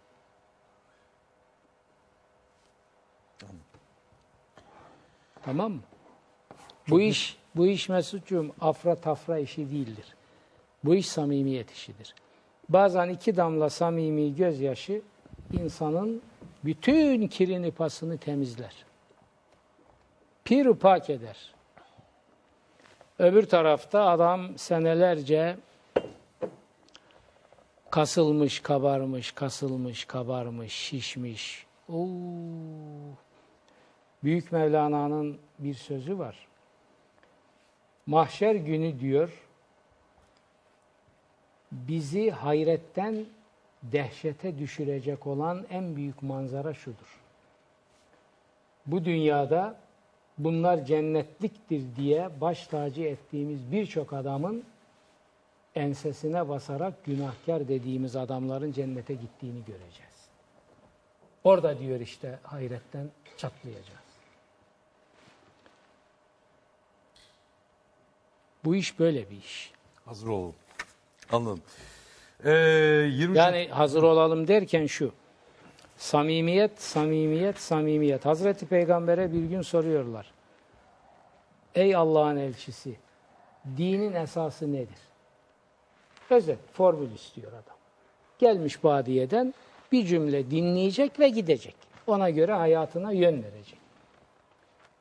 Diyor ki din samimiyetten ibarettir. Samimi ol, dinin taleplerini yerine getirmiş olursun. Senin günahın Allah'ın affı karşısında ne ki ya? Ama senin iki yüzlülüğün Allah'ın affı karşısında nasıl ayakta duracak? Samimiyetle günahkar olanları affetmek için çırpınıyor. Okuyun Kur'an'ı bunu göreceksiniz. 99 diyorlar, 100 küsür isim sıfatı var. İçlerinde 3-4 tane ceza, intikam, azap ifade edeni. Gerisi hepsi af, bağış, merhamet, lütuf, kerem bun- bunlarla il- ilgili. Ama şimdi açıldı bir, bir, bir tane daha söyleyeyim. Bu Maun suresi kitabımda da var. Hakikaten muhteşem ötesi bir tespit bu. Hazreti Peygamber diyor ki sahabi bir gün. Kurtuluş nasıl olacaktır ey Tanrı'nın elçisi? Sonsuz kurtuluşu soruyorlar. Diyor ki Allah'a oyun oynamazsanız kurtulursunuz. Ne kadar eksiğiniz, gediğiniz, açığınız, günahınız olursa olsun. O ne demektir diyor. Biz Allah'a nasıl oyun oynarız? Diyor ki işe riya bulaştırırsanız iki yüzlülük bu Allah'a oyun oynamaktır ve bu sizi Allah'ın düşmanı yapar.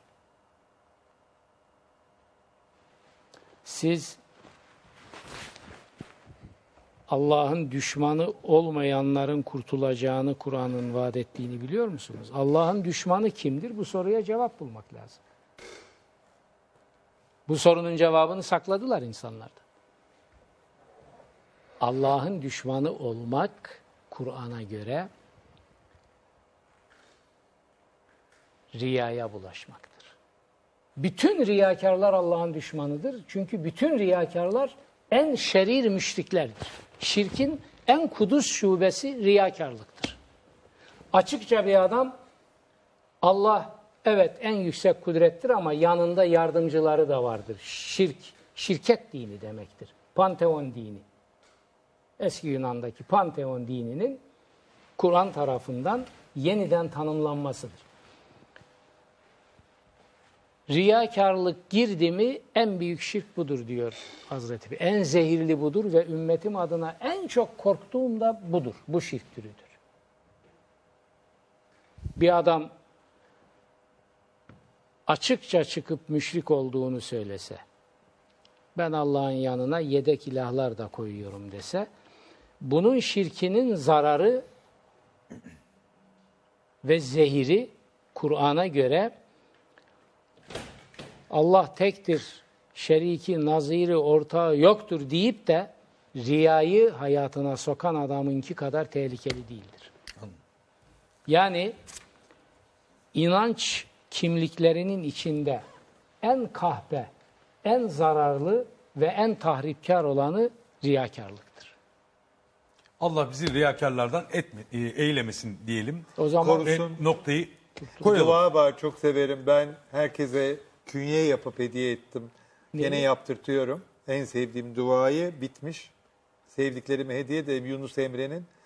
e, Ben beni bıraktığımda sen beni bırakma ya Rab diye Yunus Emre'nin bir duası var. Ben onu gümüş künye yaptırdım. 30-40 tane şimdi bitti gene yaptırıyorum. Bekliyorum yani. İnşallah 30-40'a bir türlü gönderirim. denk Böyle- ama olsun. Çünkü o en zor gününde e, insanın benim de odağımda başucumda asılıdır. Çünkü biz kendimizi bıraktığımız an var. Yeter ki Rab bizi bırakmasın. Kendimize getirsin.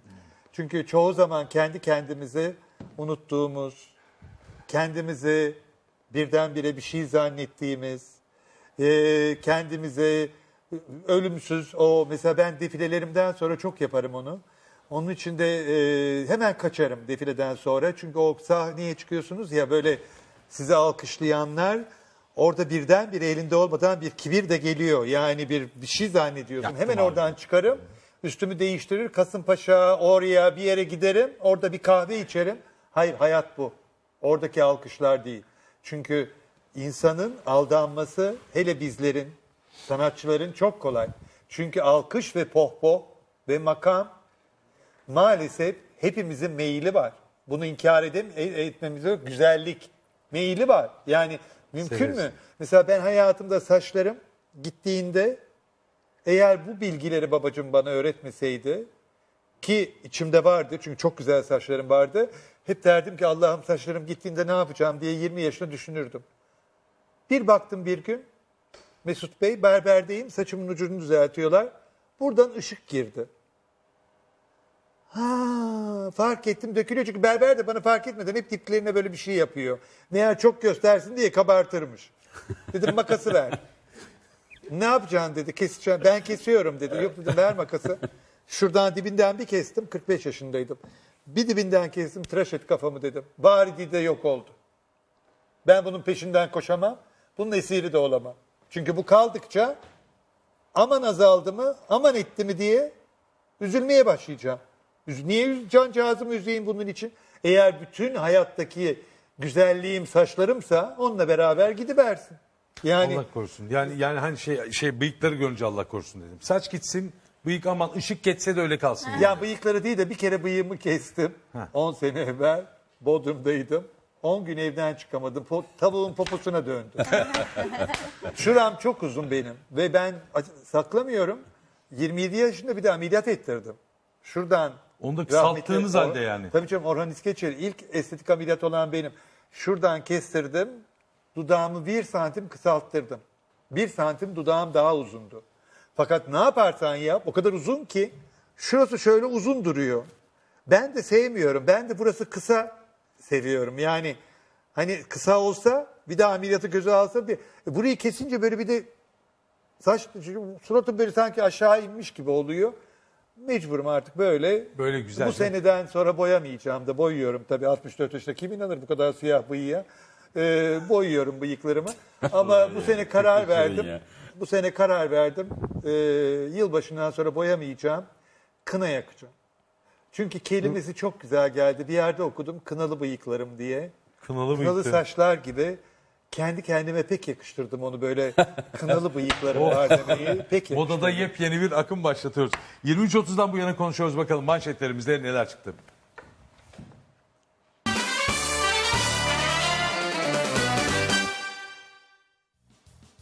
Burada laf çok kessinin son anı itibariyle. Yaşar Nuri Öztürk dedi ki Oğlak Burcu'yum yükselenimde balık. Yakışıklılık konusunu bilmem. Halimden çok memnunum. At binmeyi severim. Atsız bir dünya olamaz. Cemil İpekçi ekledi. At insanlara en yakın varlıktır. Yaşar Nuri Öztürk devam etti. Öyle ama ata at gibi yaklaşmazsanız o sıcaklığı hemen hisseder. Devam ediyoruz yaklaşırsanız pardon. Devam ediyoruz. Hakan Ural. Yaş ilerledikçe her şeye başka bakmaya başlıyor insan. Ömrüm boyunca kendisiyle ilgilenen bir insan olmadım. Geç olgunlaştım. Hayatımı akışına bıraktım. Cemil İpekçi. İnsan kendiyle ilgilenmiyorsa yakışıklılık genlerden geliyordur. Bakın bana genimde bin tane ırk var. Devam ediyoruz. Melis Düzüngüç. Ukalalık yapmayı hiç sevmem. 18 yaşında güzel bir kızım. Müzik olayı bir projeydi bitti. Şimdi hareme girdim artık bal kızım. Cemil İpekçi harem demişken aklıma geldi. Ben 22 odalı bir köşkte doğdum. Köşkün içinde dolaşırken tadıma ben sultanım ben sultanım dedim, derdim. Bilin istedim. Devam ediyoruz. Serdar İnan. Benim içimde bir sürü Serdar var. Öyle ki eşim bugüne kadar 40 kocası olmuş gibi hissediyor. Cemil İpekçi sen balık mısın? Anlamıştım zaten. Yükselinin kuvvetli olmasa burada oturamazdım. Aklıma gelmişken kovaların önü de arkası da birdi. Devam ediyoruz. Cemil İpekçi, Serdar İnan. Herkes gayrimenkul zengini. Cemil İpekçi o konuya girmeyecektin işte Serdar. Ben beğendiğim her binanın yıllar geçse de sahibi olurum. Tek sorun bana giren bir türlü çıkmıyor. Yaşar Nuri Öztürk giren çıkan konusunu sakın bana sormayın ben bilmem. Evet çok teşekkür ediyoruz. bu gece bu gece bunlar konusunda. Sadece bir şey söyleyeyim. Bak, vaktimizi de, doldurduk. Bayağı da bir açtık. Muhteşem. Ee, çok teşekkür ediyorum hepinize. Buradan bir tek şeyi söylemek istiyorum. Elbette, o buyurun. kitapla ilgili. Ee, kitabım yarından itibaren ilk kitabım olduğu için çocuğum gibi ilk deneme kitabı yarından itibaren di- e, satışa sunuluyor. Fakat pazar günü ayın 18'inde e, saat 1'de TÜYAP'ta imza günüm var. E, inşallah beğenirler. Bu bir denemeydi. Bundan sonra da ya- yani beğenseler beğenmeseler de yazacağım nasıl olsa. Çünkü içimden geleni e, hayatında 71 yılında pazen yaparken beğe- beğenecekler diye yapmadım. Kimse de beğenmedi. E, hayatta ben e, istediğimi yapmak üzere yola çıktım hep. Ama kah beğenilirsin, kah beğenilmezsin. Ee, buna da çok ne sevinmek ne de üzülmek gerekir. Ama hayatı istediğin gibi yaşamak gerektiğine inanıyorum. Kimseye zarar vermeden, e, hiçbir canlıya, hiçbir şeye zarar vermeden e, benim yaşamım bu. Şimdi yazmak geliyor içimden. Dilerim Ama böyle yarın yaşarsınız şarkı hep. söylemek de gelebilir. Ee, Ona da bakarız. Bak, sesim çok kötü değil. Çünkü şi- şimdi çıkanlara bakıyorum. Yani ben de iki tane takma kirpik takıp oralarda biraz endam yaparsam ve bir de mikrofonları da ekola ekola alırsam bir de manalı bir klip yaparsam. E, üç ayda bir alıyoruz zaten. Sizin yeni alacaksınız. klibinizde beklemiş oluruz. Evet yani bu Peki. suratımı daha ameliyat ettirmedim ama yeni Gerek de yılda yok zaten. yeni yılda yok. Yeni yılda yeni bir şey görebilirler. Şuradan hafif bir şey. Sakın sormasınlar krem mi kullandın diye. Ben ameliyat olacağım gün zaten e, herkese söyleyeceğim ki çiçeklerini bol göndersinler, hediyeler alsınlar bana diye. hani gırtlağımı falan bir lokma yaptırırsam, sahneye çıkarsam çünkü hani Ya, biliyorsun canımsın sen süperstarlar öyle olması gerekiyor. Peki, peki. Çok, e, çok hocam çok teşekkür ediyorum. Bu saatlerde biliyordum e, uyuyorsunuz ama şu yakışıklılığınızla ve samimiyetinizle ve bu akşam bize öğrettiğiniz bir sürü şeyle aramıza renk getirdiniz. Çok teşekkürler. Bence Yaşar Bey'in en önemli tarafı ne biliyor musun? Tabii ki. Tabii ki muhakkak ki okuduğu ve bilgisi olan Kur'an-ı Kerim. Ama Yaşar Bey sadece inanç bilgini değil, inanç bilgisi de değil. Yani yaşamda e, ben onu her gördüğümde insan olduğunu hatırlıyorum. Yaşar Bey de bir insan, her şeyli bir insan ve bir kul olduğumu bana onu seyrederken tekrardan bana hatırlatıyor. Çünkü işte o biraz evvel söylediği çok önemli bir şey var. Ee, bugün benim aldığım, gönlümde götüreceğim. Rabbin söylediği benle arana kimseyi sokmayı. Bence bu gecenin en Benim önemli mottosu. vurgusuydu. Herkes bunu içine çok sindirmeli. Şah damarından yakınsa bize o zaman hepimiz bir kuluz. Hepimiz de kulluğumuzu bilmemiz Onun lazım. formül cümlesi var. O zaman onu da söyleyeyim. Kur'an'da iki yerde geçiyor o. Hazreti Peygamber'e hitabendir. Bakın dikkat edin. Şimdi bu kenar mahallelerde tezgah kurmuş sahtekarlar bunu okumuyorlar. Bunlar bunlar bunlar Ebu Cehil'den daha feci şekilde Kur'an'ın düşmanıdırlar bunlar. Söylemezler. Bakın diyor ki Hazreti Peygamber'e hangi aracı, hangi şefaatçi ya? Kur'an'ın ruhuna, zihnine indirildiği kişi bu peygamber. Diyor ki Zerni ve men halaktu vahida. İki yerde geçiyor. Benimle yarattığımın arasına girme. İşte gecenin o zaman İşte bence bu Meselesi gecenin bu. bence hepimiz konuştuk ama altına böyle bir hepimizin ruhuna gelmesi gereken bu. Oh, dilerim kimse Rabbi ile arasına kimseyi sokmaz. İnşallah. İnşallah. Vereceğiniz bir şey varsa insanlığa verin. Afra tafra yapmayın. Konuşun, yazın, söyleyin. Çeşitli yöntemlerle. Hatta belki biraz kızın, öfkelenin de o kadar da olur. Bir de şükredelim. Ama evet, ama Allah'la insanın arasına girmek başka bir şey ya. Sen ışığı tut, bırak yolu adam kendi yürüyecek. Sen kimi sırtına alıp da nereye taşıyacaksın? Ha, sırtına alacak, hemen duvarın arkasına geçirip soymak ve daha bilmem neler yapmak için. Sırtına boşuna almıyor onu.